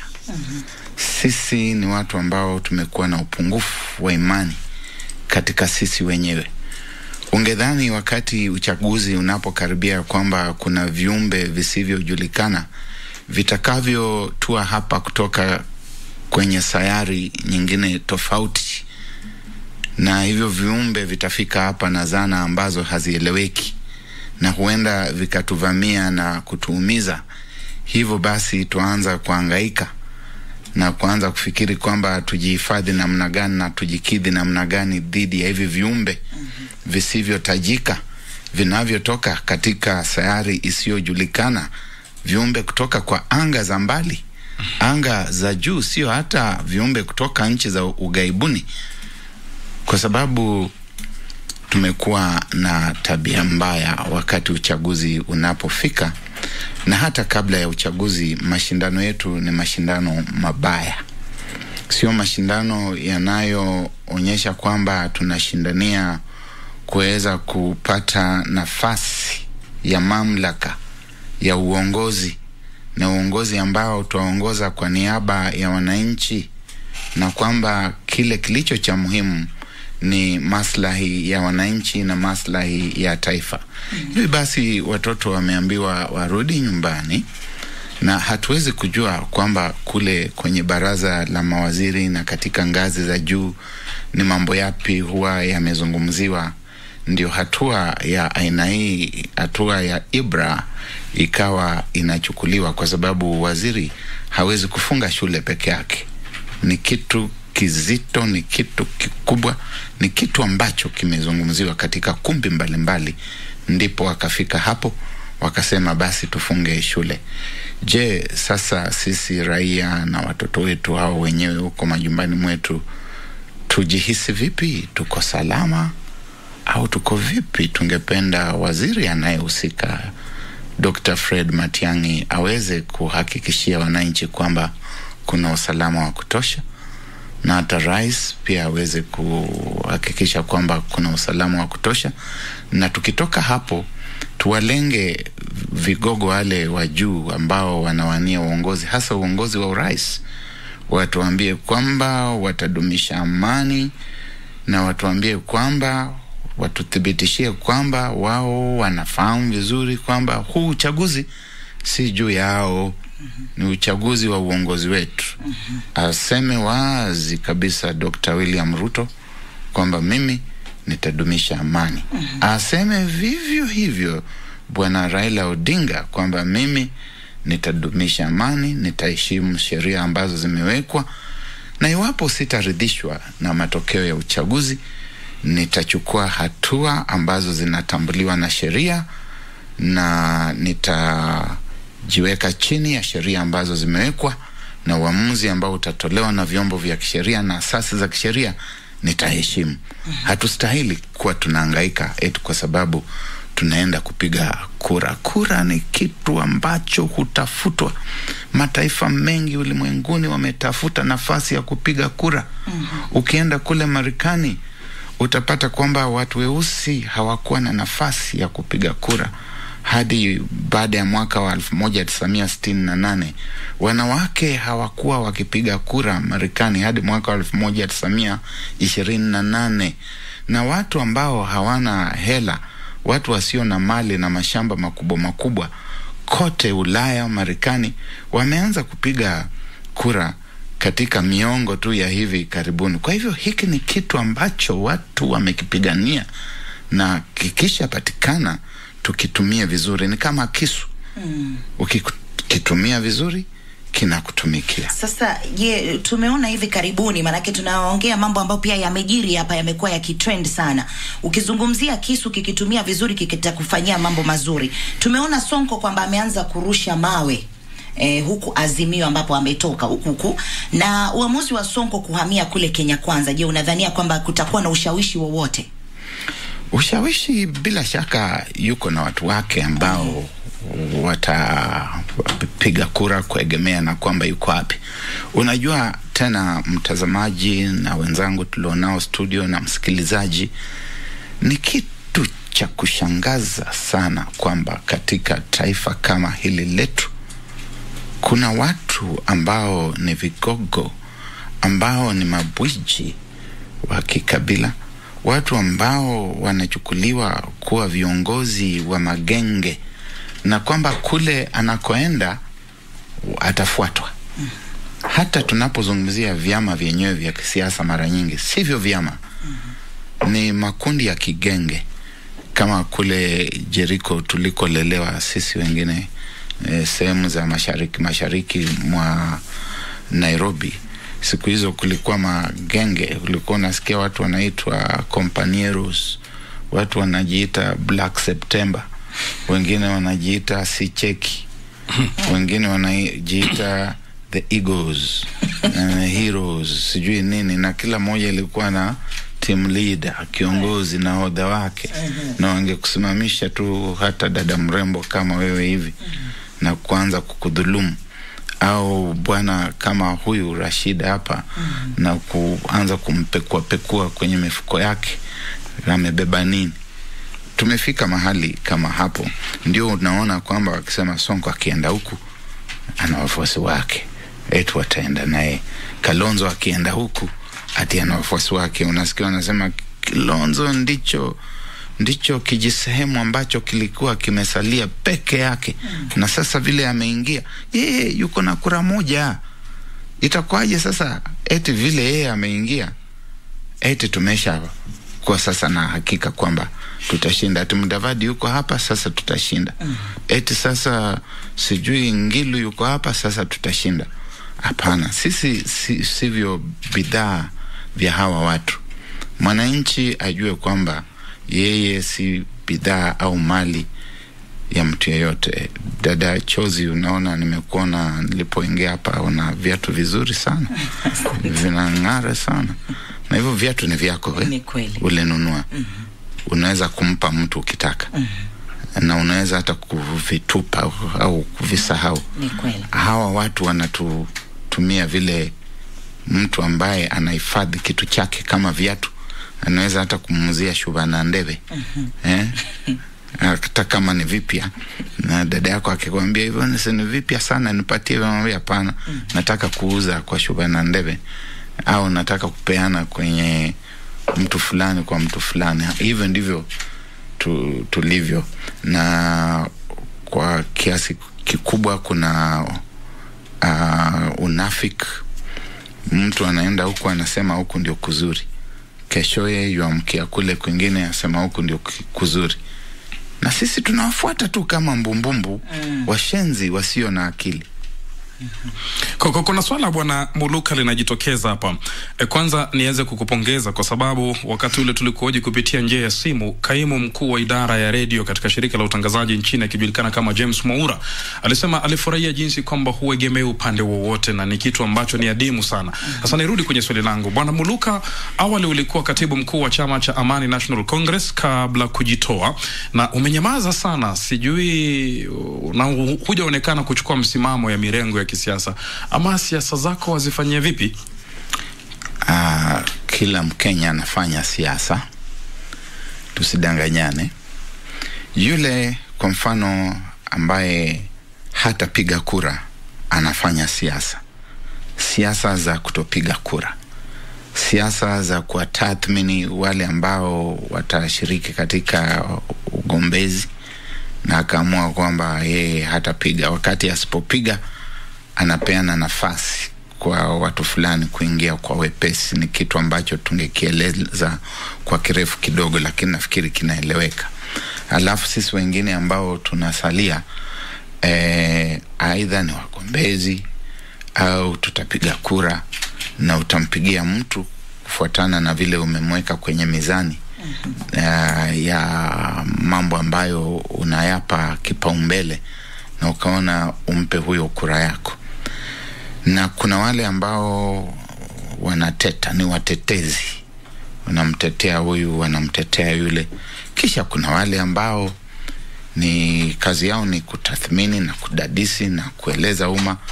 Na kwa upande huo wa kueleza kutathmini nafikiri nimefanya kazi yangu vizuri tu.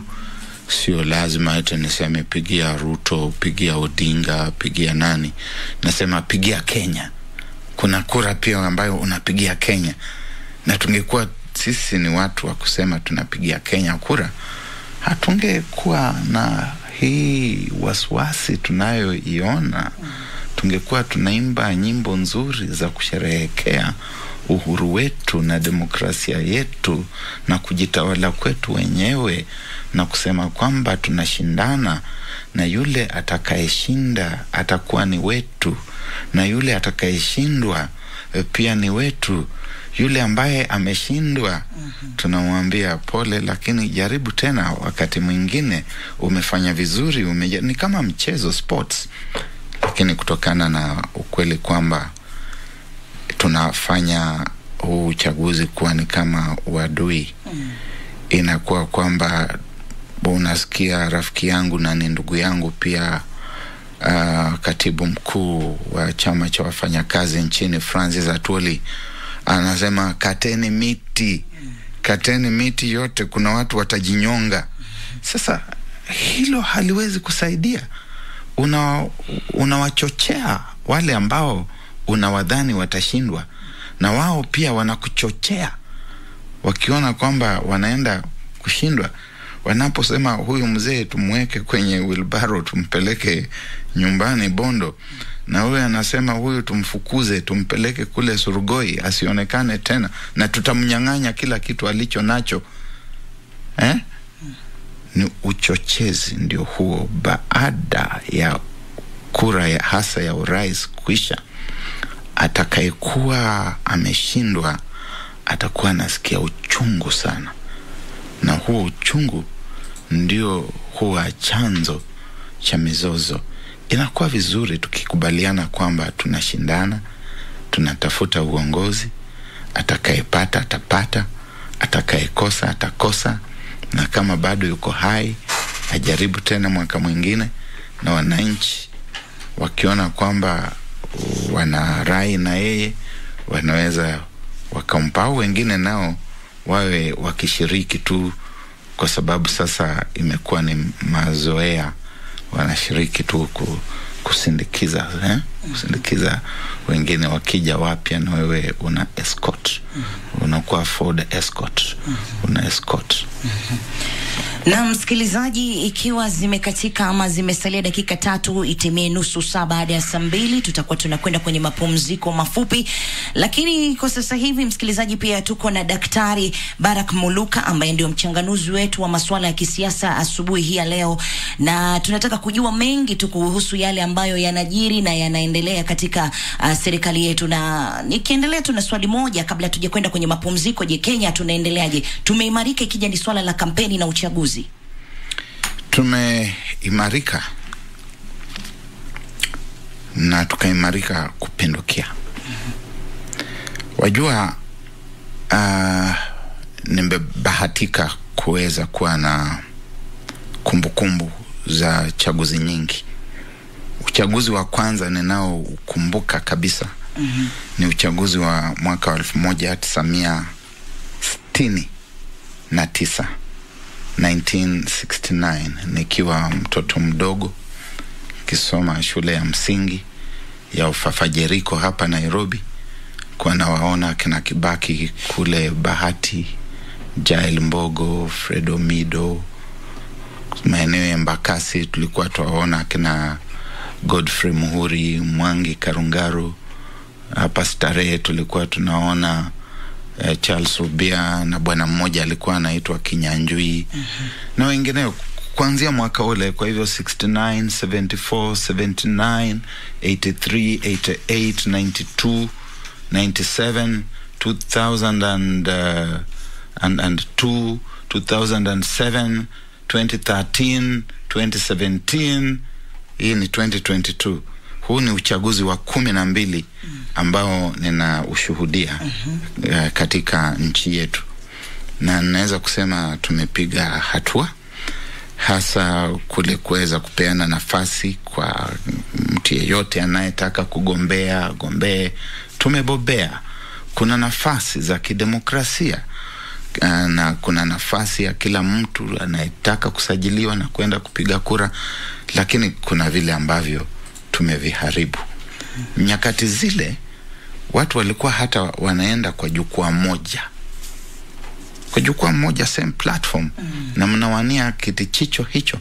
Na kila mtu anajieleza vile ambavyo nimeona vyombo vya habari vimekuwa vinawaita pamoja. E, wanawapa midahalo mm. hivi. Mm-hmm. lakini unaona hawataki hiyo midahalo kila mtu anajihisi kuwa maarufu sana anapokuwa peke yake akitamba peke yake. Lakini wanapoambiwa njoni kwa midahalo unaona wajakoya anadinda. Unamwona raila odinga anadinda. Inastahili tuje hapo kwenye hii midahalo ndipo tuwe tunapeana ishara kwamba sisi sote ni taifa moja sisi sote ni tunda la nchi yetu. Na hii nchi ni kitu ambacho tumezawadiwa na mwenyezi mungu na wale waliotutangulia. Kwa hivyo tuilinde vizuri. Tuje tushindane kwa mawazo kwa sera na kisha baada ya hapo tupeane uamuzi kwa wananchi. Labda vile ninavyovizungumzia ni vitu vya kufikirika tu alivyosema shaban bin bin, bin, bin robert ni vitu vya kusadikika tu lakini ni vitu ambavyo vinafanyika eh, kwingineko. Ukienda kama kule finland kwa mfano tu utapata kwamba hata kampeni kama hizi ambazo tunaziona watu wakizunguka zunguka na kupeana pesa hongo na nini hazipo. Mtu unakuja katika chombo cha habari mm-hmm. unajieleza na watazamaji wanakusikiza. Ndio kampeni zinafanywa huko. Uh, kisha siku ya kupiga kura mm-hmm. uh, wewe unasema eh, nambari yangu itakuwa ishirini na tatu. Kwa hivyo unapoenda huko weka namba 23 watu wanajua hakuna hii wasiwasi hizi washawasha. Tumezunguka miaka minne. Eh? tumezunguka miaka minne na nusu na hata si miaka minne miaka kumi. Kwa sababu walipoanza hawa sijui walikuwa urp na tna mm. rais kenyatta alikuwa anasema kumi yangu kumi ya ruto. Hivyo ni kuonyesha kwamba tulikuwa tayari. Tumeanza ya 2022 na odinga alikuwa anaambiwa wewe ngojea 2032 ndio ujaribu tena. Ah, vimekuwa ni vingi sana hasa hivi vya urais. Hata sasa dada chozi na ndugu rashid mm-hmm. tumefika mahali ambapo inaonekana ni uchaguzi wa urais tu katika taifa zima. Tukizungumza tunapozungumzia uchaguzi ujao ni kama watu tunaozungumzia tu uchaguzi wa urais. Mm-hmm. tumesahau kuna magavana arobaini na saba kuna maseneta pokuwa tu hapa nairobi ndio niliona kidogo.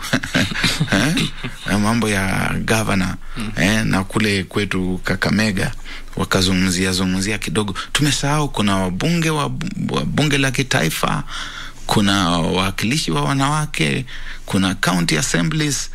Ni kwa nini mawazo yetu yafungwe kwa kitu kimoja tu?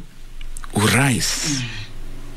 Hata kuna wanahabari wa kigeni wamefika hapa nairobi mm-hmm. wengine wameshaingia mashinani lengo lao ni kuangalia tu hawa wa kenya watapigana tena kwa sababu ya uchaguzi wa urais mm-hmm. hakuna kitu kingine ambacho kimewalete hapa mm-hmm. wametoka australia ujerumani wametoka timbuktu huko juu huko mali mm-hmm. wametoka kila mahali wamekuja kuangalia kama sisi tutazozana na kupigana hata kwa sababu ya uchaguzi wa urais. Na sisi pia ni kama tunatayarisha uwanja. Waziri wa elimu anawambia watoto sasa ondokeni kwenye uwanja. Eh, fujo fujo huenda zikaja. Mrudi nyumbani hapana. E, mimi ingawa mjaniambia niseme hili neno la mwisho ambalo nitasema baadaye lakini lazima nilipe kipaumbele. Ambia mkenya huu uchaguzi mtu asikutumie kuzusha gasia mm. ukizusha gasia wewe ndio mjinga mpumbavu wa mwisho hivi vitu wanavyovifanya wanasiasa mara nyingi ni vyao isingekuwa ni vyao dada chozi mm. usingemwona martha karua na raila odinga mm. raila odinga na uhuru kenyatta william ruto na musalia mudavadi moses wetangula na william ruto charity ngilu na uhuru kenyatta Kivutha kibwana na raila odinga. Ah, sisi ambao tumesafiri na hao watu kutoka huko tunawaangalia. Imekuwaje? Na sasa wewe unaenda hati kuwapigania?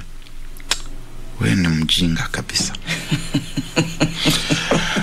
msikilizaji wa KBC Radio Taifa, sauti ya Mkenya, ikiwa hivi sasa ni saa tatu bado dakika ishirini na tatu saa za Afrika Mashariki. Kumbuka studioni tuko naye mchanganuzi wa maswala ya kisiasa, mwandishi mkubwa wa habari na vile vile pia mlumbi katika lugha zote mbili, nikizungumzia lugha rasmi ya Kiingereza humu nchini na lugha sanifu ya taifa Kiswahili, Bwana Barak Muluka ambaye anatema te- cheche za madini hapa ndani ya studio, na nimesahau kubeba kamusi kwa sababu kuna mengine hapa yanipita kweli, mtazamaji. Kumbuka pia vile vile unatazama kipindi hiki kupitia Good Morning Kenya upande wa pili wa studio. Labda tuchoze tupeleke mapumziko, tutakaporudi tutasonga mbele. na msikilizaji tunakwenda kwenye mapumziko mafupi. Tutakaporudi kumbuke ya kwamba nambari zetu ziko wazi. Sufuri saba sufuri sufuri moja saba sita sita tisa tisa. Vile vile kwenye mitandao yetu ya kijamii unatupata vizuri. At mwajuma Machozi at mwamkondo at radio taifa. Hashtag ni mbili hashtag zinga hashtag good morning kenya. Na tutakaporudi tutataka kujua mengi zaidi eh, kuhusu vile ambavyo rais uhuru kenyatta pia anapigia debe sana eh, kiongozi raila odinga. Je unalichukulia namna gani msikilizaji? Mapumziko mafupi. He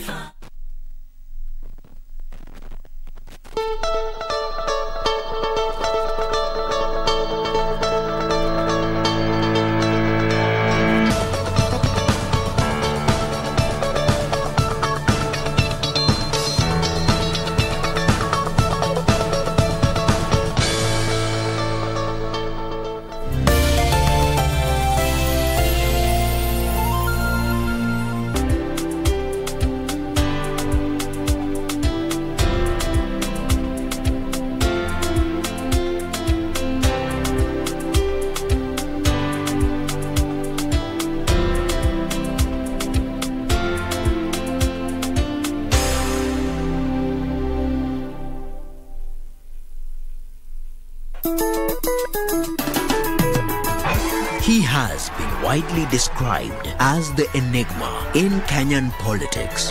For 50 years, Kenyans have wandered in the wilderness. His critics are as eloquent as his supporters are in their praise. when it was in the interest of the country that it was important for him to work with KANU for the benefit of the country, he did that. As a seasoned politician, his stab at the presidency has been a case of so near yet so far. They now have an opportunity through these elections But who is this man? Raila Odinga, through the eyes of the Kenyan youth.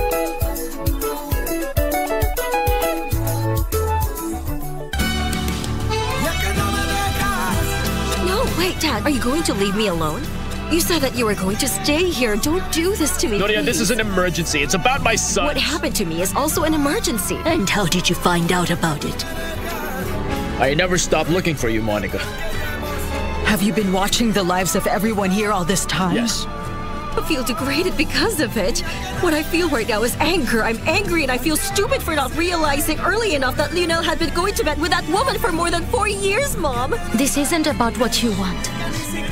It's about who you love. The 2022 Commonwealth Games will be hosted in Birmingham, United Kingdom from the 28th of July through the 8th of August 2022. Team Kenya is set to make its 17th appearance at the Games. Kenya will contest for medals in several disciplines, among them athletics, boxing, hockey, rugby, weightlifting, wheelchair basketball, and para sports, among others. Watch the games live on KBC Channel 1. KBC Channel 1, your true sports partner.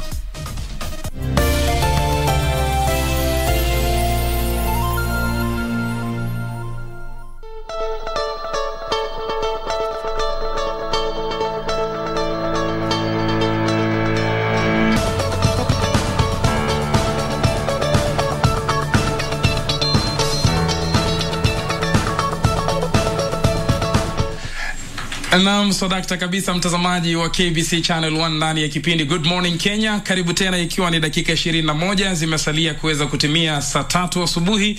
Eh, Hii ni KBC Radio Taifa, sauti ya Mkenya. Kipindi hewani ni Zinga na studioni tuko naye mchanganuzi wa maswala ya kisiasa, mlumbi wa lugha, Bwana Barak Muluka, tukiweza kuzungumzia siasa za mwaka elfu mbili ishirini na mbili tukiwa tumesalia tuna siku sita kabla ya uchaguzi.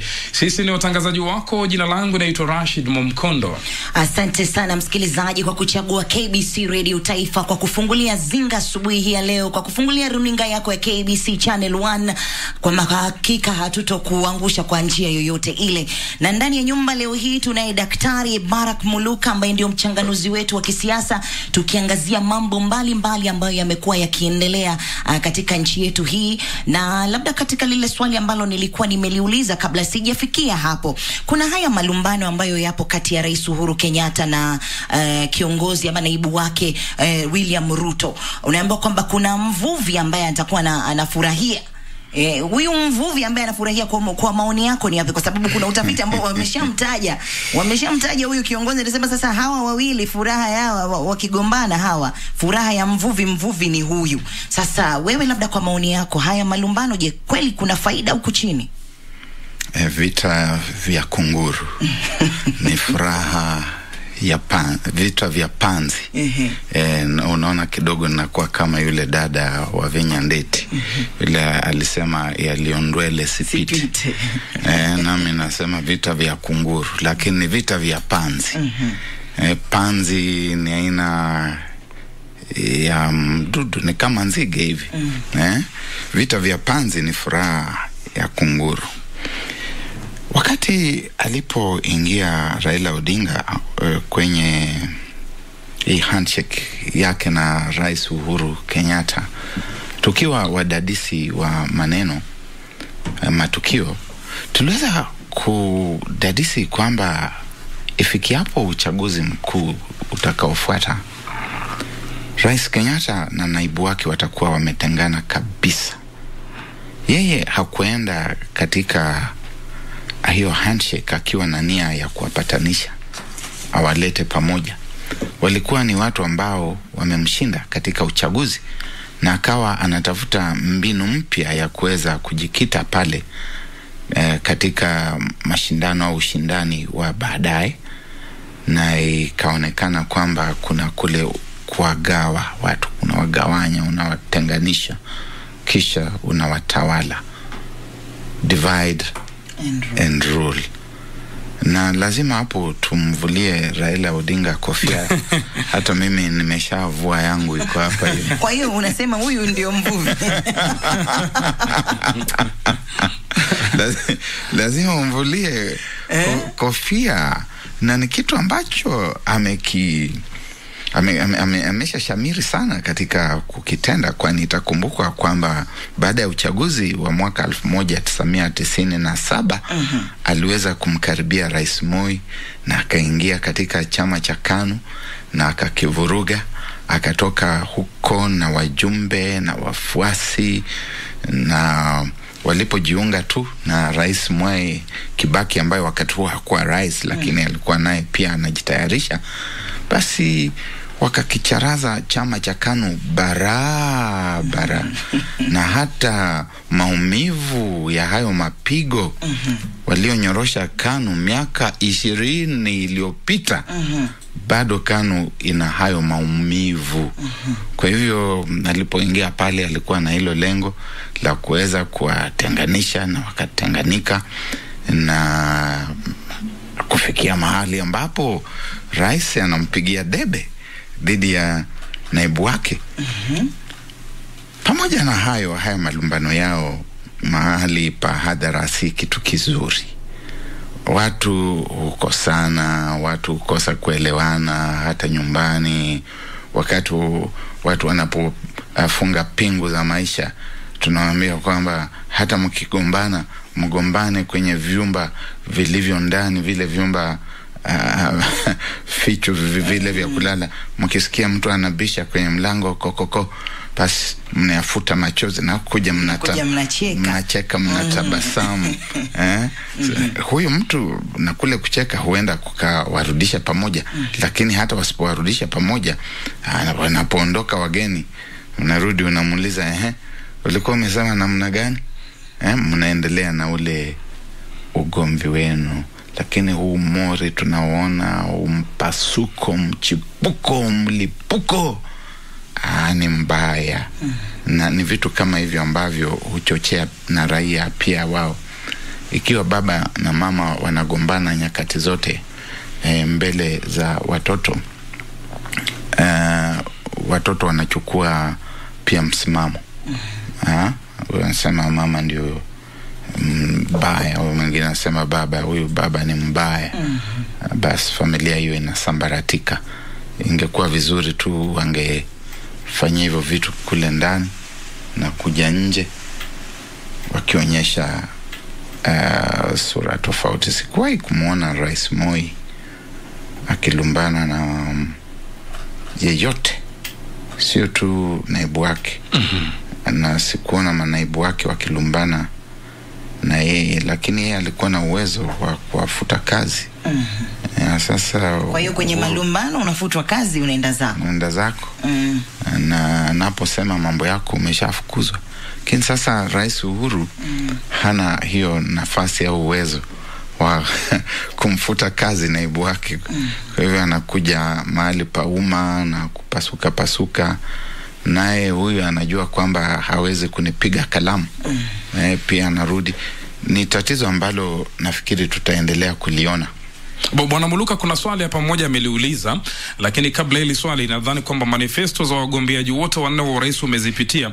Nataka utuambie, je, wengi wameku, wao wote wamekuwa wakizungumzia kuhusiana na swala la ufisadi. Je, kati yao wagombeaji wanne nani kweli ameeleza vizuri kuhusiana na vita hivyo? Lakini kuna mmoja hapa anayoitwa Dennis Mamai Maina kwenye ukurasa wetu wa Facebook KBC Radio Taifa. Rashid, kuna jambo fiche hapo. Hebu muulize Bwana Muluka, mimi namheshimu sana, lakini anaegemea upande upi? Kwa sababu mara kwa mara namuona kwa makazi ya naibu rais. yeye uingiaje kwa makazi ya naibu wa rais? Yeye huwa ameenda kwa makazi ya naibu wa rais kufanya nini? Ndio. Ilikuwaje? ndio tuka- tukakutana huko tukaonana na yeye. Alikuja kukuangalia kama kweli umekaa naye. alipitia wapi? Makazi ya naibu wa rais ni soko la kariako au bama market ambayo watu wataingia tu na kuwaona wengine eti wamekuja huko. Na ingekuwa kweli kama tunakutana huko tunge ningemuuliza lakini sio ukweli lakini ingekuwa ukweli mm. ningemuuliza vile wanapouliza wale wachawi ambayo hukimbia nje usiku. Ukis- ukija ukisema huyu ni mlimuona ni mchawi huwa anakimbia huko usiku. Utaulizwa na wewe ulikuwa unafanya nini huko huo usiku? Au ukienda ukisema huyu nilimuona kwenye vile vyumba vya starehe eh, huyu eh, nilimwona mimi. Hakusema ati anaonekana alisema nilimwona. Mm. Nilimwona kule unajua kuna vyumba vya starehe huko watu huenda huko kufanya mambo ya uzinzi na vitu vinginevyo vya aina hiyo. Sasa unasema eh, huyu mke wako eh, anapenda sana huko kwenye hivyo vyumba vya starehe huko huyu bwana yako. Na wewe ulijuaje? Mm -hmm. ulikuwa unafanya nini? Tuachane na hayo tujibu maswali yaliyo mazito. Mm -hmm. uh, ufisadi. Umeuliza ni manifesto ipi ambayo imeshambulia na kupeana mpango barabara? Jibu ni kwamba hakuna Wajakoya amesema atawanyongelea mbali, bado. Ah, Wajakoya yuko kwa merry go round. Yeye yeah, anasikia vizuri tu ana enjoy. Anasema vitu ambavyo haviwezekani. Mm -hmm. uh, anasema kwamba ataondoa katiba ili apate hiyo nafasi. Katiba ataiondoa akitumia sheria ipi? Mm -hmm. kuondoa katiba ndio afanye vitu yeye yuko kwa kitu kinachoitwa kujiburudisha, kufurahi. mm-hmm. Hii safari, mnajua, mnapokuwa kwenye safari, kuna wale ambao wanajishirikisha ili waweze tu kujiburudisha mm-hmm. na kujienjoi na kujulikana. Ufisadi kama kungekuwa manifesto ambayo ingesema kwamba kitu cha kwanza itakachofanya ni kuangalia ile ripoti ya Bethwel Kiplagat ya ukweli, haki na maridhiano, ningesema kwamba sasa wako tayari kuanza, kwa sababu hiyo ripoti ndio ina visa vyote vya ufisadi na wizi, ujambazi na watu ambao wako mamlakani kuanzia enzi za ukoloni kuja enzi ya hayati rais mwanzilishi mzee Jomo Kenyatta, kuja kwa enzi ya rais Moi, enzi ya Mwai Kibaki, na ukishafika hapo, kuna njia ya kuonyesha kwamba nayo enzi ya rais Uhuru Kenyatta imeingilia wapi. Wangeanza na TJRC, lakini hawawezi. Kwa, hiyo kiufupi, bwana Baraka, unasema kwamba hizi manifesto za wanne hawa hakuna hata mmoja ambaye ameweza kuangazia swala la ufisadi vile ambavyo inatakana. Hapana, hivyo ni vitu tu vishawishi shawishi tu hivi vya kuambia kwamba eti kutakuwa zero tolerance. Zero, zero tolerance na tayari una tolerate zile vitu ambazo vitu ambavyo vimeandikwa katika TJRC mm-hmm. mashamba makubwa makubwa humu nchini, wale ambao waliiba waliua ndovu zetu na wanyama wengineo porini na kubeba pembe za ndovu na kuwauza Ulaya wale ambao walikuwa wamehusika katika magendo ya korosho kule pwani, mambo ya mahindi tangu enzi za kina Paul Ngei, wale walioshiriki. Tunapozungumzia maize scandal zilianza katika siku za kina Paul Ngei, na wazee ambao wanasikiza na wasomi, najua wanaelewa kwamba Luka anasema ukweli. Mambo ya kahawa kutoka kule Uganda vizungumziwe. Mambo ya kuporomoshwa kwa shirika la reli ambalo lilikuwa ni shirika kuu kabisa katika nchi hii yetu, mambo ya kuporomoshwa ya shirika la posta, mambo ya wizi wa nyumba za serikali katika mji wa Nairobi, mji wa Mombasa, mji wa Nakuru, nyumba za reli ambazo zimenyakuliwa na hawa watu wote wakiwemo pamoja na wale ambao wanazungumza sana wakati huu wakisema wizi wizi wizi mambo ya mashamba katika Kenya ya kati yaliyonyakuliwa na familia chache. mm-hmm. Vitu kama hivyo unapoanza kuvizungumzia, nitakuamini kwamba wewe unazungumza na kusema ukweli. Uzungumzie Ndongo Land Commission report mm. useme vile utafanya. Uzungumzie the Goldenberg report, Goldenberg report katika ukurasa wa mia tatu umeweka hapo majina ya watu ambao walihusika na Goldenberg wanajulikana mm. ni akina nani, na kama wewe umeketi nao pembeni mm. unapiga mdomo na kusema kwamba utapambana na ufisadi mm-hmm. na umevilete hapa katika manifesto, unamdanganya nani? mm-hmm. Utadanganya watu, lakini mimi hutanidanganya na kupitia kwangu hutadanganya Wakenya. mm-hmm. Hakuna manifesto. Ambayo imezungumzia mambo ya ufisadi kwa njia inayoweza kuaminika. na msikilizaji, kabla hatujakupa wakati na wewe pia ukaweza kuuliza swali lako, labda unadhania kwamba uchaguzi wa mwaka huu na chaguzi nyingine ukizilinganisha kutakuwa na utofauti wowote? Hakuna tofauti kubwa, isipokuwa niseme kwamba zile chaguzi za miaka tangulizi mm -hmm. zilikuwa chaguzi bora zaidi mm -hmm. kuliko uchaguzi kama ule ambao tunaenda kuufanya mwaka huu, kwa sababu tuliwachagua watu kuambatana na maono yao Mm. kuambatana na uadilifu wao na rai yao. Mimi nilikuwa nawakilishwa katika sehemu ya Butere na Martin Shikuku, na hakuna siku ambayo Shikuku nilimwona akipatia mtu yeyote hata shilingi moja, hata senti kumi, senti tano ili wampigie kura. Siku hizi na wakati mwingi sana siku hizi nautumia nikiwa nyumbani kwetu Emanyuria, sababu miaka arobaini imeisha tangu nilipoingia hapa Broadcasting House kuanza kazi ya utangazaji. Hivyo sasa lazima nianze kubehave like somebody who is retiring if not someone who is retired. Huu uchaguzi dada Chozi, unaona kila mahali wanawake wanakimbia wamebeba watoto na maleso, wanakimbia sijui nani anakuja, twende tupewe mia mia, twende tupewe mia mbili. Wakitoka huko wanaenda huku, kuna watu wanakuambia ah, hiyo kanisa itakupigia kura eh? hujatupatia kitu eh?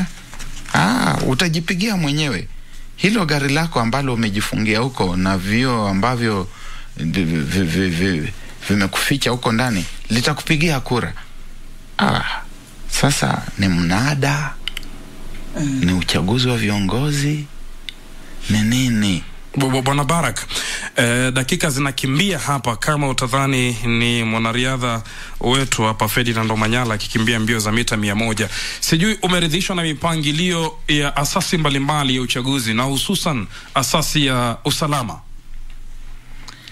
Bwana chepkati ametuambia kwamba yuko tayari. Nafikiri yuko tayari kuambatana na mazingira ambayo anahudumia.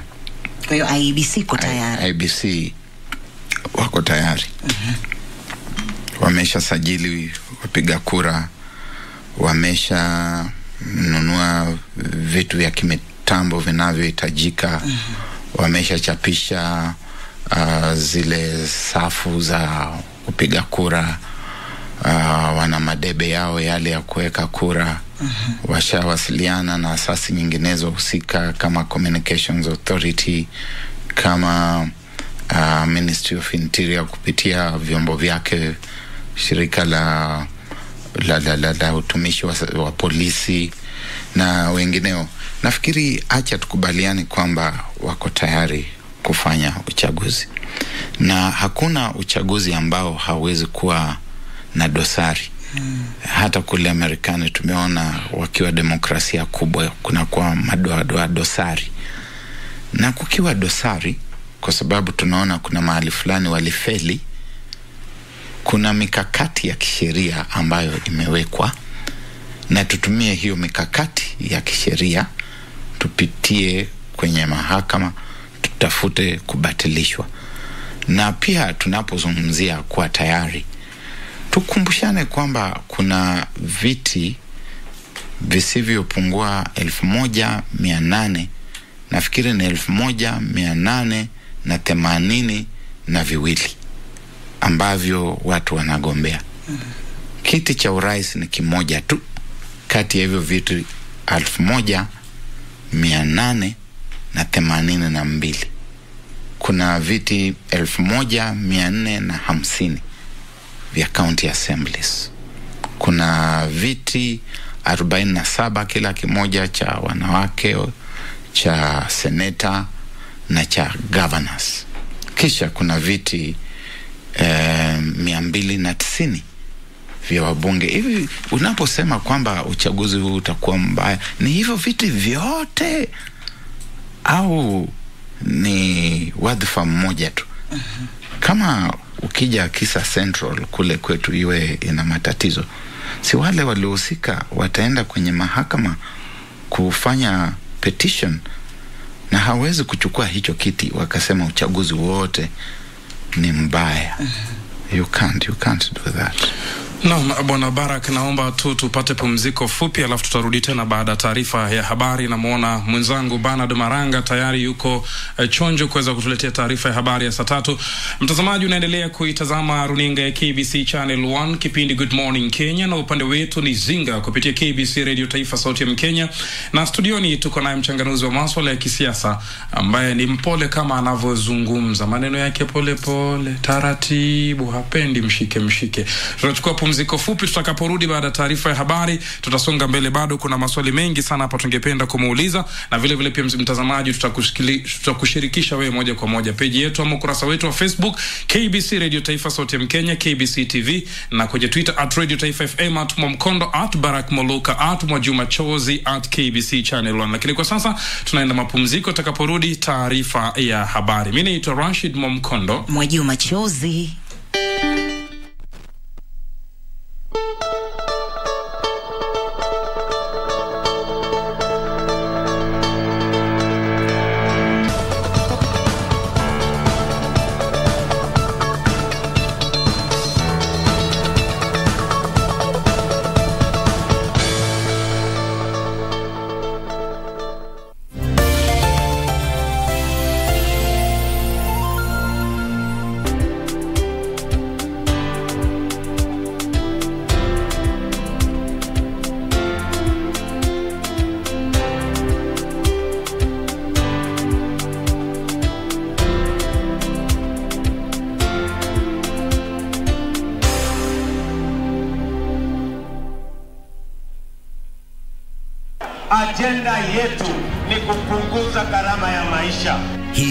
Described himself as a man on a mission. I am a man on a mission. I have no space to retreat and I don't have the luxury to surrender. As a presidential runner in the 2022 elections, he has repeatedly referred to himself as a hustler. You're the hustler number one. But who is this man? President, president. William Ruto. Through the eyes of the Mwananchi.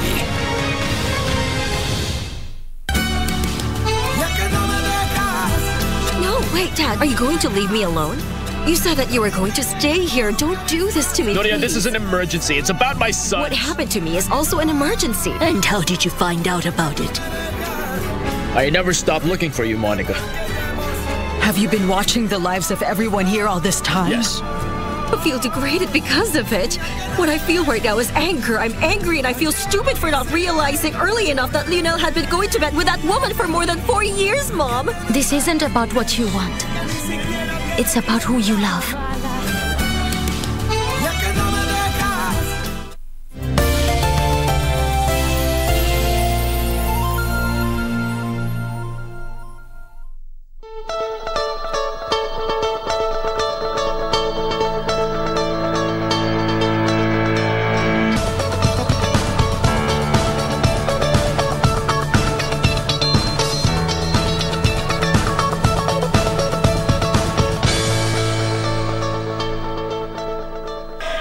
Genital mutilation is one practice, you know, just in various parts of this country, different counties, with prevalence being in places such as Kisii, Embu, Meru, Taita Taveta, and even Kuria.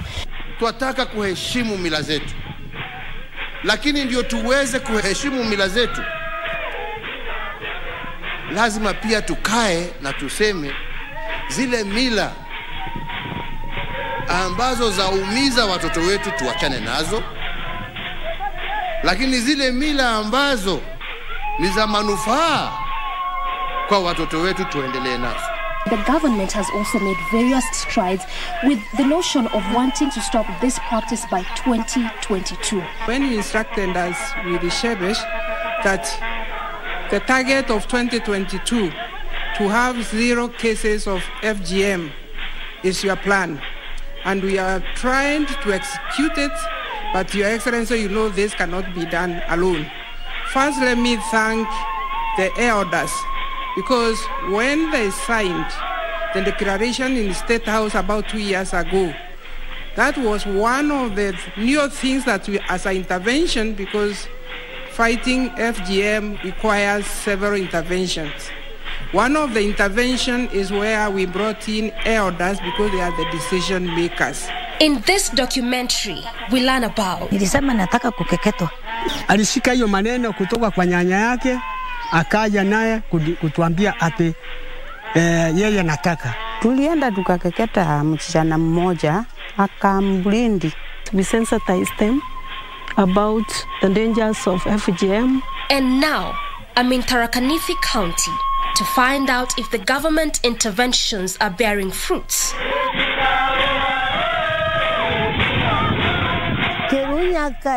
Ntigetonga anankagererwa ah, ngabanakaya akandinga mukono egwakwa mware enwa mugambo I got an appointment with Fides Kithinji, a reformed ex-cutter who practiced FGM for decades. She underwent the cut. wakati nilitahiriwa nikiwa mkubwa sababu si hakuna kampuni. Una unajua unajua hii ni kampuni yako sasa. Sasa unaona wewe ukiacha huyu akitairiwa na huyu atairiwe na huyu mwingine wewe uwezi wachwa peke yake sasa una, unakosa kampuni. Unajua kampuni? Sasa hiyo ndio inaniwezesha nitairiwe, sababu hakuna mtu tunakaa na yeye. Nitakuwa peke yangu. According to Fides, it was more of a ceremony than an event. Sasa wakati huu ni wakati wa ule mtani, ile mwenye kutai anavaa hivi, hata ukimwona na njia unajua yeye ni mwenye kutai. Hata mwenye kutahiriwa akiniona anajua ndio ule mtaani, anaitwa mtaani. Sasa zamani mwenye kutahiri alikuwa anaenda akiwa anaimbiwa, anaimbiwa, anaimba, anaimba, anaimba. Sasa akienda pale ataingia polepole na msisana naye hapa hapa ndio mwenye kutairiwa ata, ata, atatokea na hii mlango amalishiwe mambo yake na mimi nitakuwa pale nje. Sasa hii ni hii inaitwa ovia mtani. Na hii ni nkio ya mtani. Hii mti inaitwa lamara, yaani ile ile pimbo ya mtani. Uki, ukienda kusukua mtani, kama mtu anikujia hapa, kama tu, kuna tumano kama vile vijana kijana kama ule anakuja ananiambia unataka uende ukatairie kwetu eh. Sasa lete ile pesa unakuja naye eh, ili niweze kutoka niasie, kiniasia elfu moja. Sasa nitampea hii, ona ataenda naye akijua ah, mtani ame, akienda atapelekea yule mwenye kutairiwa, mwambie ukiona hii ujua hakuna u- u- uta, hata ukikataa tunakushika kwa nguvu kwa nguvu. Poverty made Fides to become a cutter. Sasa nikaona sasa wasa ni, nione kama nikitaidi nitaweza pata pesa eh. Sasa nikaanja hapo umuhimu ni- nikafuatilia wale walikuwa na barua Mhm. wajua huku kutairi zamani ilikuwa uki, una, ukienda kutairi una, una, una, unaenda unapea chibu pesa una, unakupatia barua unaenda kutairi nayo Mhm. sasa ukiwa unapata ile barua utaenda hivyo utakuwa ukienda bila amuke. Asubuhi saa kumi na mbili kuwa umetairi. Umemaliza. Umemaliza na unapewa kitu. For one to qualify as a cutter, one had to cut at least 10 young ladies. uh, wajua ulikuwa na ki- unatahiri kiziriziri, hakuna mtu anajua kama unatairi Unaenda unatairi unakujua unatahiri, una- Sasa ukirundi vile, wajua ni, ni kama vile una, unapewa mtihani unapita. Sasa ukipita ukikuwa na wa- watu kumi wako, sasa hiyo ndio una, una, kama unafu, unafunuliwa. Una, unapatiana ile sakura wanakula, alafu wanakwambia sasa wewe endelea endelea kabisa. Ni kama vile una, unafanya mtihani wa form 4 kama ukapita uende university Later on on the day, I received a call from Sarah Karimi from Kirimangare village, Kanjuki sublocation. She is one of the few women who voluntarily went for the cut. Nilisema nataka kukeketwa. Ukeketaji ulikuwa mwingi na ilikuwa ni passion, so kama hujakeketwa hauna kampani. mtu anakaa for how long ndio arudi kuwa sawa kabisa ile mpaka anaweza toka aende nje atembee aendelee na shughuli zake kikawaida Utakaa mwezi mwezi mmoja yote. eh, eh, na hiyo mwezi umeketi kwa nyumba ni, ni, ni mambo gani ambayo unafanyiwa uh-huh. Una, kama ile kuku appreciate so umetoka from one stage to another stage wana kiutamaduni, kuna mambo mingi walikuwa wanafanya. Utaletwa watu hata kwa kuchape, uko na kidonda na utachapwa. Utaambua kama ni mambo ya kuheshimu mama mwenye amekuwa sapota wako. Utaambua mambo ya kama unapita njiani ukutane na wazazi wako, unapaa wewe unaingia kwa kichaka, wanapita upusi mwingi Peer pressure also pushed her to go for the cut. Mm, wakati niko darasani nilikuwa na stress sababu naona wenzangu wameenda kuolewa. Kama rafiki yangu nakumbuka kuna mmoja aliolewa tu vile vile tu, tu sasa tulirudi mashuleni, yeye akakuwa tayari alikuwa na boyfriend, lakini sasa vile ame, amepita hiyo section sasa amekuwa sawa, so akakuwa ameolewa, kona mtoto. Bado mimi hata sijamaliza class class 8 bado naendelea na masomo, so nilikuwa naona ni stress kubwa. Simon Jagi Ngathu is a community leader in Kirimangare village. Wanajaribu ku yani kuendelea kuendelea ama kuendesha ile ile man, nini utamaduni wao.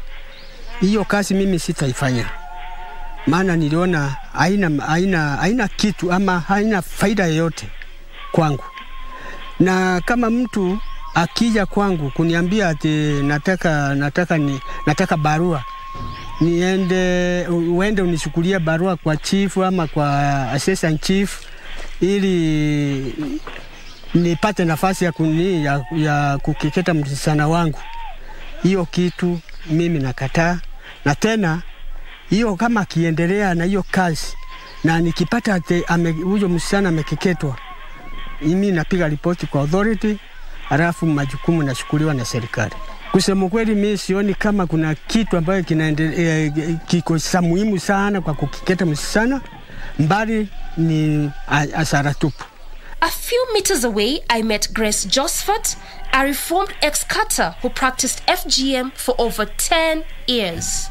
Tu, kuanzia 1979 tukaenda tukaenda mpaka hata mimi akanifundisha kukeketa, akitengenezewa pombe akikunywa akalewa, ananiambia sasa, nilikupundisa saa hii ni wewe utafanya hii kazi. Tulienda tukakeketa msichana mmoja akamblindi kwa damu kwa wingi, nikaangalia nikaona he, na hii ni maneno ya kufungwa. Una, una, nikafikiria nikaanza kutetemeka, nikaona hii maneno hii serikali ikijua tutapungwa. Mimi nikaolewa, nikaolewa na pasta. Nikiolewa na pasta akaniambia, sasa hii maneno sitakubaliana na hii maneno hata nikiwa mimi na keketa nilikuwa naona ni maneno sio mzuri. Government interventions to stop FGM has attracted support from non-governmental organizations. We met Faith, Regional Director, Plan International based in Tharakanithi County. A lot of progress has been achieved towards eradication of the practice with um, a lot of emphasis on uh, working with locals, mainly the role models, women and men that are in support of ending the practice, women that have progressed well in their career and have not gone through FGM, and others that have gone through FGM are career women but are against the practice and have been able to stop the practice in their own families. So those are the people that we've been working with. There are a lot of awareness campaigns that have been held at the community level.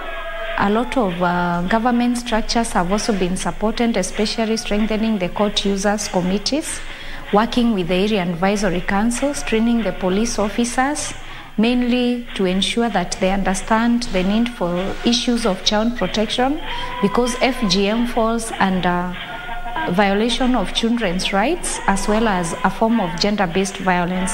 So, as much as there is that much that the organization has done in reducing the practice from um, 58% in uh, 2014 to 48% as at last year, a lot more needs to be done now that. Um, comparing the, the prevalence in the Rakanidi County and the national prevalence of 21%, we are way above the national average with around 27%.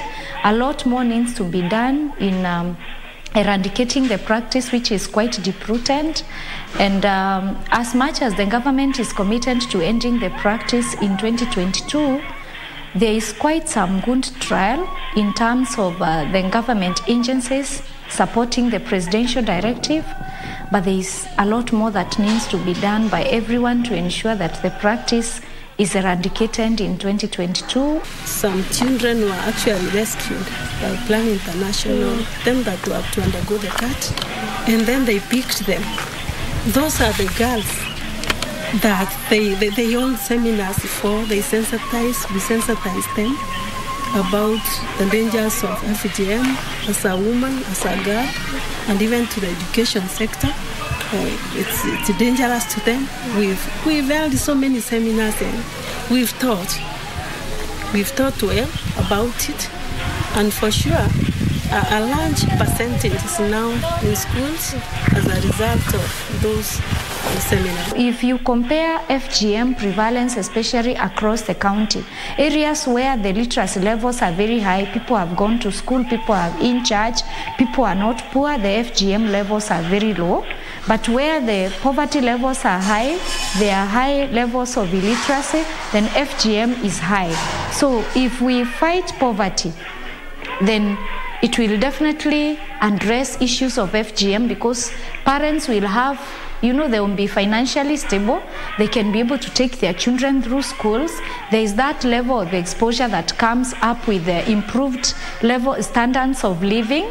There is that interaction with the outside world that brings in the natural transformation from embracing the cultural practices that are retrogressive to encouraging education you know, to encouraging support of education and hence eradication of FGM in an area. My visit to Rakanithi County left me with hope.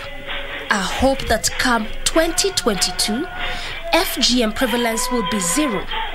A hope that girls will be given equal opportunity in the society. I will visit Tharaka again.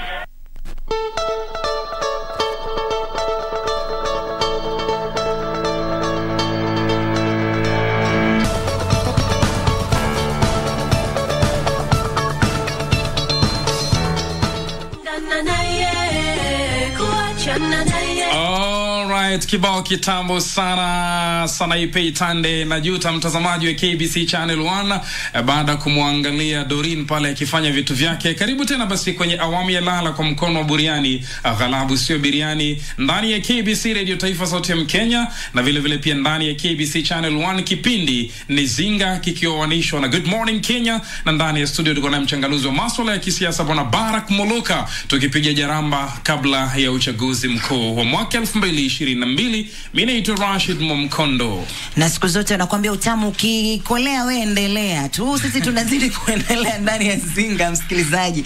Mazungumzo yamekuwa ya, ya kufana na tunajifunza mengi zaidi hapa ndani ya studio msikilizaji. Na leo hii tunaendelea na hashtag zinga na tunaendelea na hashtag good morning kenya. Kwani iko nini? Nakumbuke kwamba msikilizaji kama ndio unafungulia redio yako sasa hivi uko ndani ya kbc radio taifa na vile vile uko ndani ya kbc channel 1 kwa hiyo tutazidi kuzungumza na daktari barak muluka kuhusu masuala mengi tu ambayo yamejiri Labda tunakirudi kwako bwana Muluka, tume ya uwiano na mshikamano wa kitaifa imetekeleza wajibu wake kikamilifu katika kuendeleza amani humu nchini. Tume hiyo imefeli. Mm.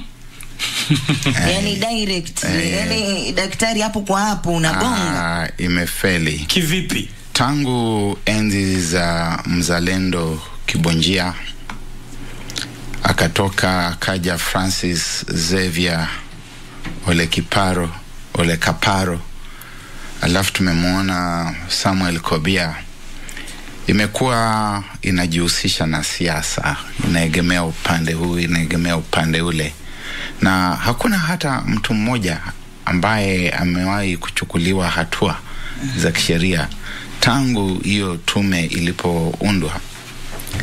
Um, nafikiri ilikuwa ni mwaka wa elfu mbili na nane baada ya ghasia za uchaguzi tuliposema kwamba kitu kimoja ambacho wa vitu ambavyo vinatudhoofisha kama taifa mm-hmm. ni ukosefu wa uwiano wa kitaifa, kwamba tunapozungumzia uh, kuunda taifa, ujenzi wa taifa, mara nyingi tunasahau kwamba taifa ni watu.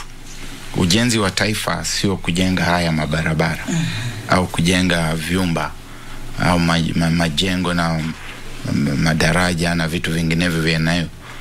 Kujenga taifa ni kuwaleta Wakenya pamoja, wajihisi kama wamekuwa ni kitu kimoja, jamii moja, na kazi kuu ya hiyo tume ni kuweza kudumisha elimu ambayo itamfanya Mkenya katika pembe moja kumpenda na kumfurahia Mkenya katika pembe nyingine, Mkenya wa kabila fulani kumpenda mwingine, Wakenya kujua kwamba hatima yao ni moja uh -huh.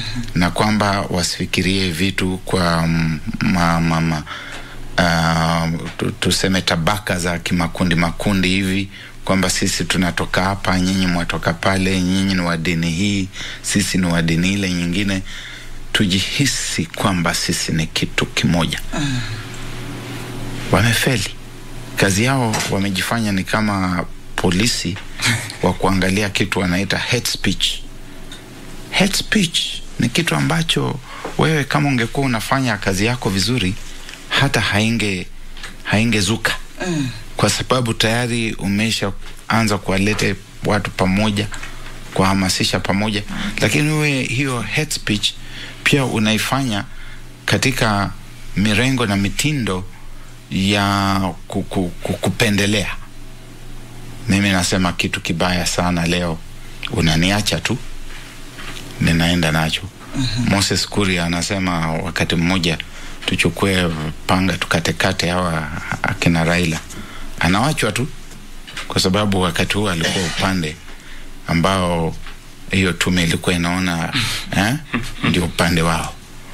Wakati ametoka sasa, amevuka ameenda upande huu, yeye na William Ruto wametoka huko, baada anasema maneno yanayoingia katika mirengo hiyo hiyo. mm -hmm. Aa, anaambiwa sasa, wewe utashikwa sasa, utaenda kujibu mm -hmm. utaenda kujibu maswali imefeli imefeli kabisa, na hata haistahili. Ingekuwa inaendelea kutumia hela za umma uh-huh. itabidi ifikiriwe upya. Daktari Barak Muluka, je, hizi kura za maoni ambazo zinatolewa zikifuatana tu kwa wingi tu zina athari zozote? Uh, kura za maoni na utakumbuka kwamba Rashid alisema kwamba mm. nimewahi ku, kuwa karibu na wanasiasa wakati mmoja.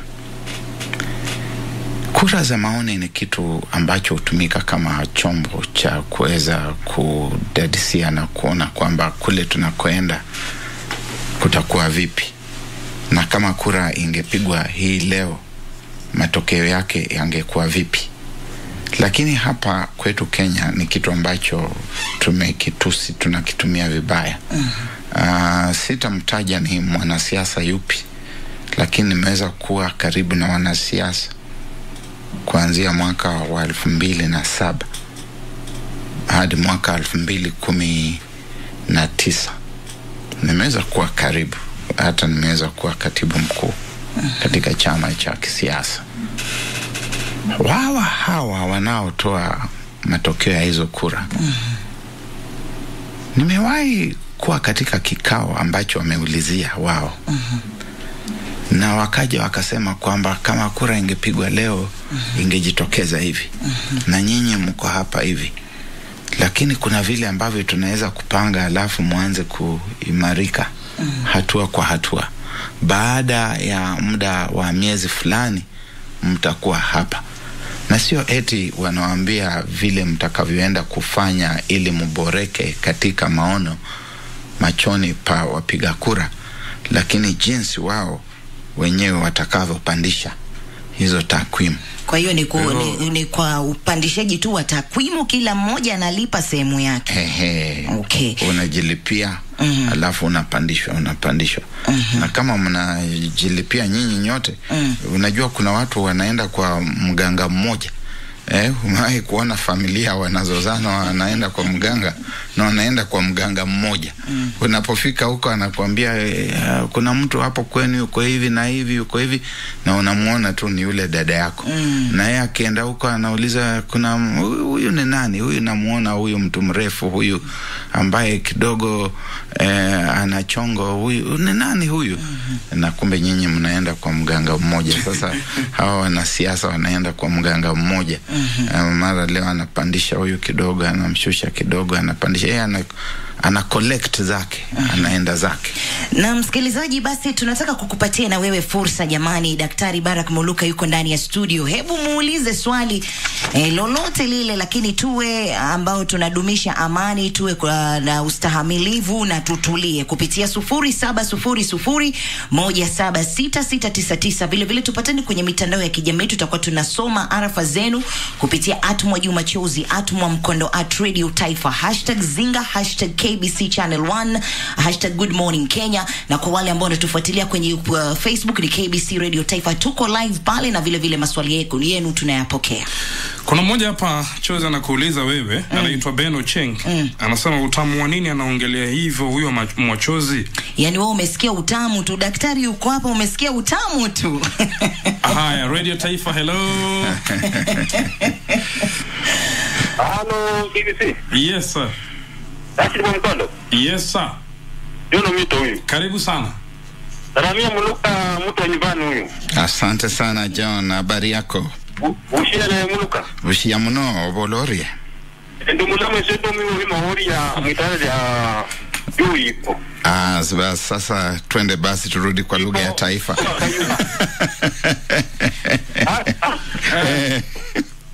Yes sir.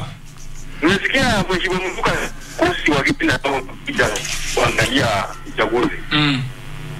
Mimi kwa upande wangu atazionagi maana yao kwa sababu hata kura ziende mafyongo.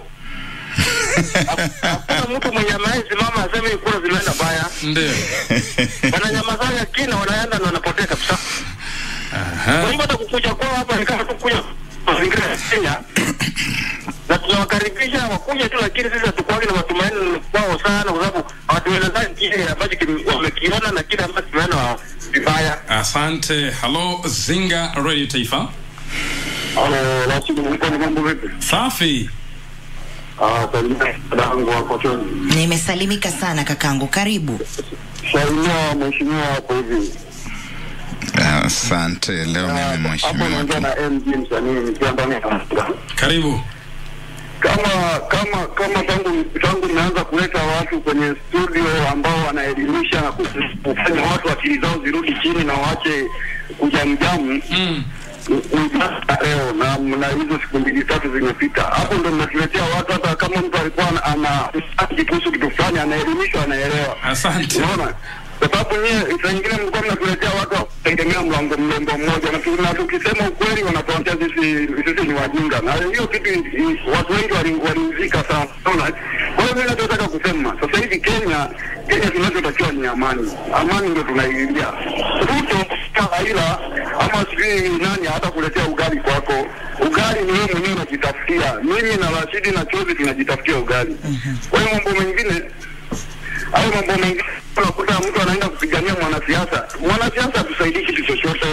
Sisi tunatafuta kura kwa sababu tupate amani peke yake, na hatupigi kura kwa sababu eti watuletee maendeleo fulani ama watuwekee unga mezani. Tunapiga kura tupate maendeleo, tupate tupate amani na kila mtu aendelee na maisha yake, lakini watu wasije wakang'ang'ana kwenda kupiga kura ili kwa sababu ya Ruto. Kama mzee hapo ame Ruto hakujui na ni nini Raila hakujui, kwa sababu ukiangalia sasa hivi Eugene Wamalwa na Ruto kuna kipindi Eugene Wamalwa alikuwa mwandani wa Ruto, juzi tena hapo wameletana shida. Haya, ukiangalia Karua na mawazakarua na Raila 2007 tumeangalia tumeona hawaelewaki kabisa, na Martha Karua mpaka akasema hawezi fanya kazi na, na mtu kama Raila.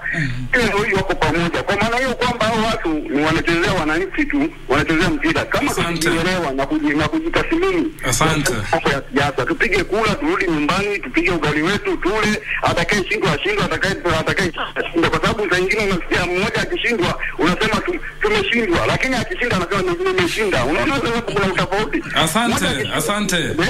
Asante.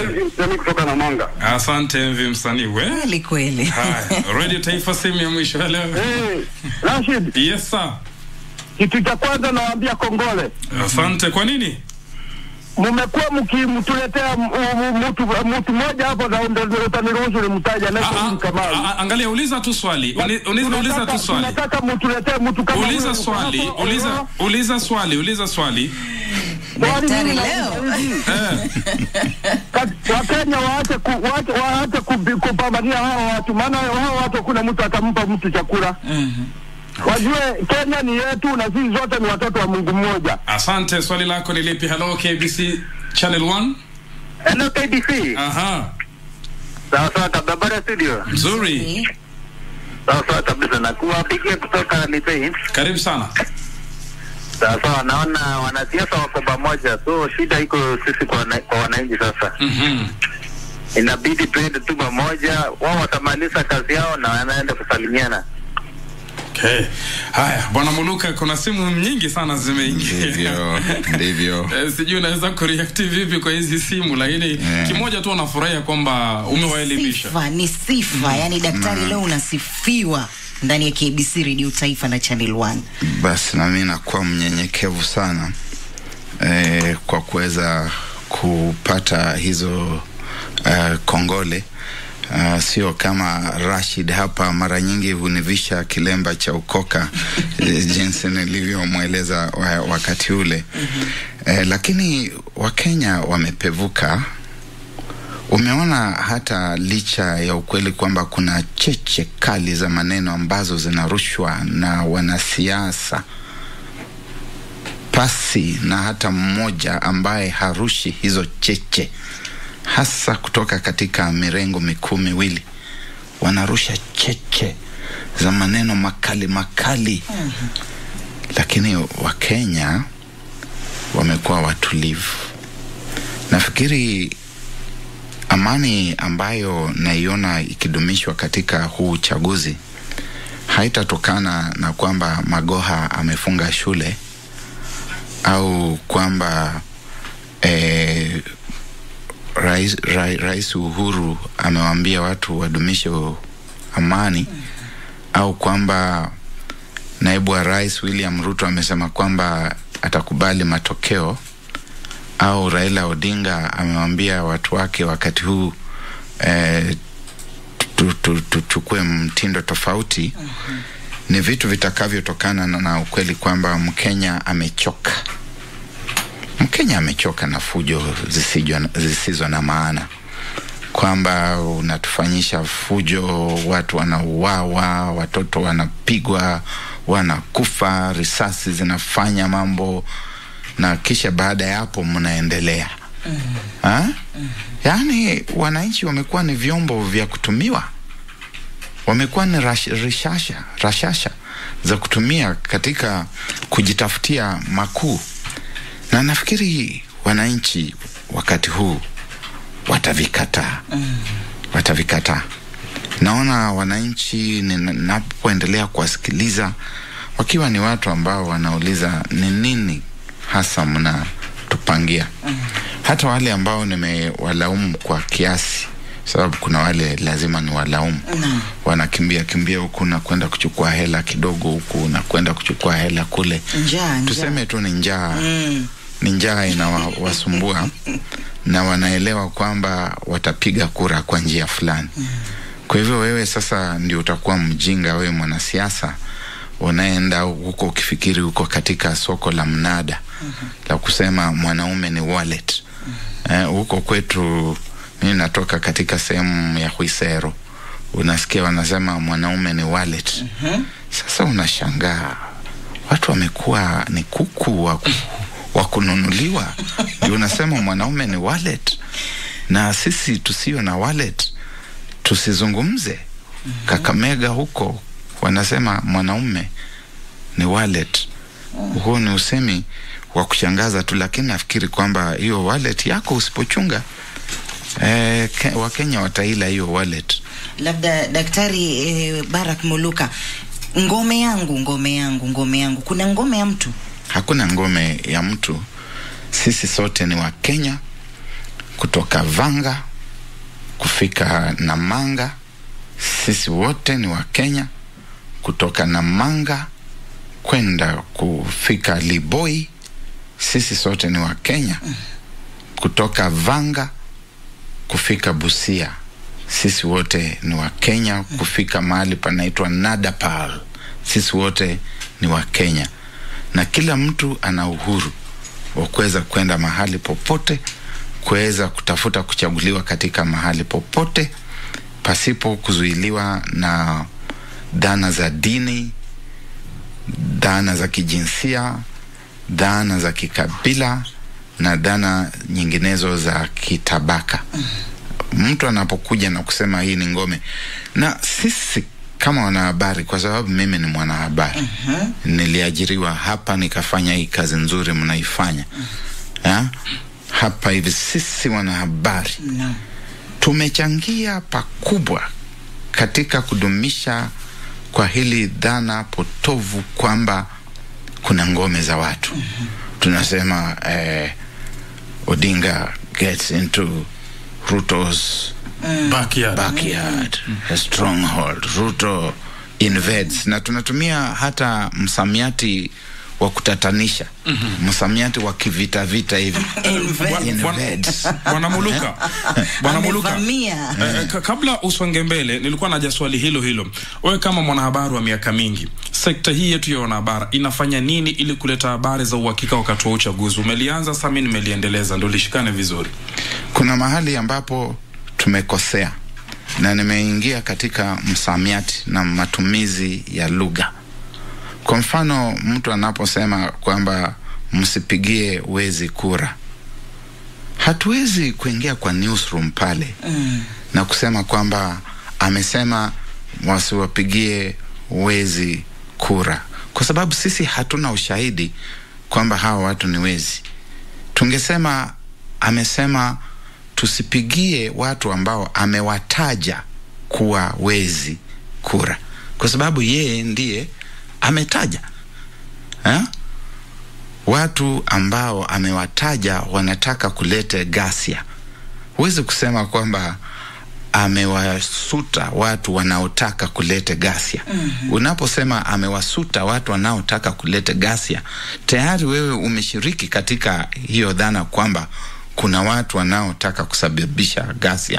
Na Unasema na wanahabari hatujui kuchuja maneno. Hatuchuji. Mm. na ninashangaa kama bado kuna wahariri mm. katika vyumba vya habari mm. na kama hawa wahariri wanajua kwamba maneno msamiati una uzito uzito fulani na ni uzito ambao unaweza kuhasam, kuhamasisha au unaweza kutawanya mm. na tungeweza kuwa tukipeana kipaumbele kwa ukweli kwamba hii nchi ni yetu. Kuna serikali tekelezi, kuna mahakama na kuna wabunge, na sisi jinsi ambavyo alitutaja Oliver Cromwell miaka ile ya zamani ni the fourth estate, na hii fourth estate ifanye kazi yake, sio kwa njia ya kuonyesha kwamba e, ni kama ndondi. Tumeenda kwenye kwe- kwe- kwenye, kwenye ringside tunatazama pale watu wakimwagiana makonde uh -huh. na tunaona huyu anamwaga zaidi. Na sisi kazi yetu ni kuripoti tu. Hivi vitu vinatuhusu. Vinahusu watoto wetu. Angalia sasa wametolewa shuleni wamerudishwa nyumbani. Vinatuhusu. Sio boli baina ya Manchester United na Arsenal ambavyo vinafanyika kule mbali. Utakuja useme oh tumewashinda. Oh mmetushinda hivi ni vitu vinavyokuhusu moja kwa moja hata ukiwa mwanahabari hata ukiwa raia wa kawaida ukiwa polisi kila mtu angefanya kazi yake kwa mujibu wa sheria na maagizo ya kitaaluma. Tungekuwa na nchi nzuri sana Sasa mi nataka tumalizie, manake naona kwamba muda pia unatupa kisogo, lakini nitaambatanisha maswali mawili. Je, unamzungumziaje Uhuru Kenyatta kama kiongozi wa nchi hii? Alafu mwisho tuzungumzie amani. Eh, Uhuru Kenyatta amekuwa na nafasi ya kuongoza miaka kumi, tumempunguzia kidogo, haijafika kumi kamili, lakini kufuatana na katiba ile iliyowekwa inayosema kwamba uchaguzi utakuwa tarehe fulani na utaendelea hivi na vile. Uh, kwa muhtasari, kuna vitu vya kimiundo misingi ambavyo amevifanya vitu vizuri. Baba yangu yuko bado hai kule Emanyudia, anakaribia kuwa miaka tisini mm -hmm. na aliweza kuishi hapa Nairobi kwa miaka mingi. Nafikiri nitamlete huku Nairobi hivi karibuni aweze kutembea hapa na ataona kwamba kuna maendeleo zaidi. Hata mji wenyewe wa Nairobi atapotea, atashangaa hivi ni vitu gani ambavyo wamevifanya. Ni vitu vizuri tu. Um, kuna mambo ya stima, kuna mambo ya kawi kwa jumla, kuna mambo ya ugatuzi ambayo yametendeka katika awamu yake mm -hmm. na ni vitu vizuri vimefanyika. Hata kule kwetu Emanyudia tunaona mabarabara ya lami kwa mara ya kwanza, na tunaona maji watu wanayapata kutoka karibu na makwao. Hayo ni maendeleo ambayo yametokana na serikali ya Rais Uhuru Kenyatta ambavyo huvizungumzia SGR, ingawa yeye na Raila Odinga walikuja kule kwetu wakatuambia watarejesha reli kutoka Kisumu mpaka Butere, hatujaiona. Tunaona tu nyasi na ng'ombe mm -hmm. wakiwa hapo. Tukimalizana na hayo, labda kwa sekunde tatu tu bwana. sekunde mbili mm -hmm. Aa, kuna vile Rais Uhuru Kenyatta amelete mgawanyiko katika taifa, na ningemwomba sana aweze kufikiria na kutafakari katika siku saba hizo ambazo amebaki nazo kama rais, aweze kujaribu kulete taifa pamoja, aondoke katika haya ma, malumbano yake na naibu wake, na naibu wake pia ningemwomba atoke katika haya malumbano yake na, na rais amlenge Odinga na yeye na Odinga wajaribu kutumia lugha nzuri, kwa sababu nchi hii ni yetu na tutakuwa na nchi hata baada ya uchaguzi. Bila shaka mtazamaji wa Channel One, kufikia hapo tunabudi kulikunja jambo la kipindi chetu kwa leo. Shukurani za dhati ni kwake Barak Muluka ambaye ameacha shughuli zake nyingi na kuja katika studio zetu za Radio Taifa kuweza kuzungumza na wasikilizaji ambao wamefurahia jinsi alivyowaelimisha. Asante vile vile pia wenzetu kutoka upande wa pili wa runinga kwa kuweza kufanikisha kipindi hiki, bila kumsahau Bi Lucy Wahome, Martin King'asi Nyongesa, Geoffrey Onditi na Bernard Maranga. Asante Ben Ngui na kikosi chako. Mi naitwa Rashid Mumkondo kwa niaba ya Chozi la Almasi, asanteni.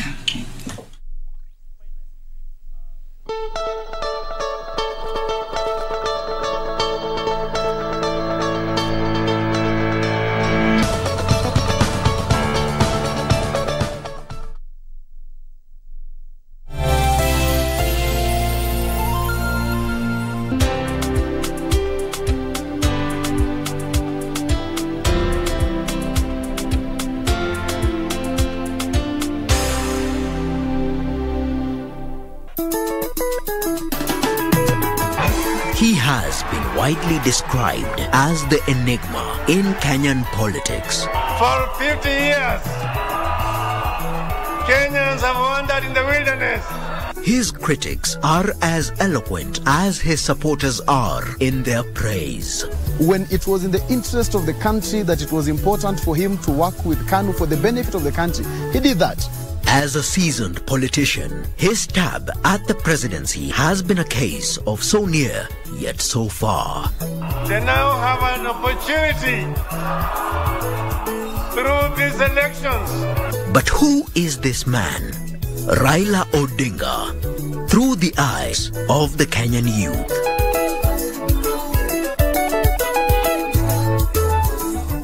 The 2022 Commonwealth Games will be hosted in Birmingham, United Kingdom from the 28th of July through the 8th of August 2022. Team Kenya is set to make its 17th appearance at the Games. Kenya will contest for medals in several disciplines, among them athletics, boxing, hockey, rugby, weightlifting, wheelchair basketball, and para sports, among others. Watch the games live on KBC Channel 1. KBC Channel 1, your true sports partner. No, wait, Dad, are you going to leave me alone? You said that you were going to stay here. Don't do this to me. Gloria, please. this is an emergency. It's about my son. What happened to me is also an emergency. And how did you find out about it? I never stopped looking for you, Monica. Have you been watching the lives of everyone here all this time? Yes. Feel degraded because of it. What I feel right now is anger. I'm angry and I feel stupid for not realizing early enough that Lionel had been going to bed with that woman for more than four years, Mom. This isn't about what you want. It's about who you love.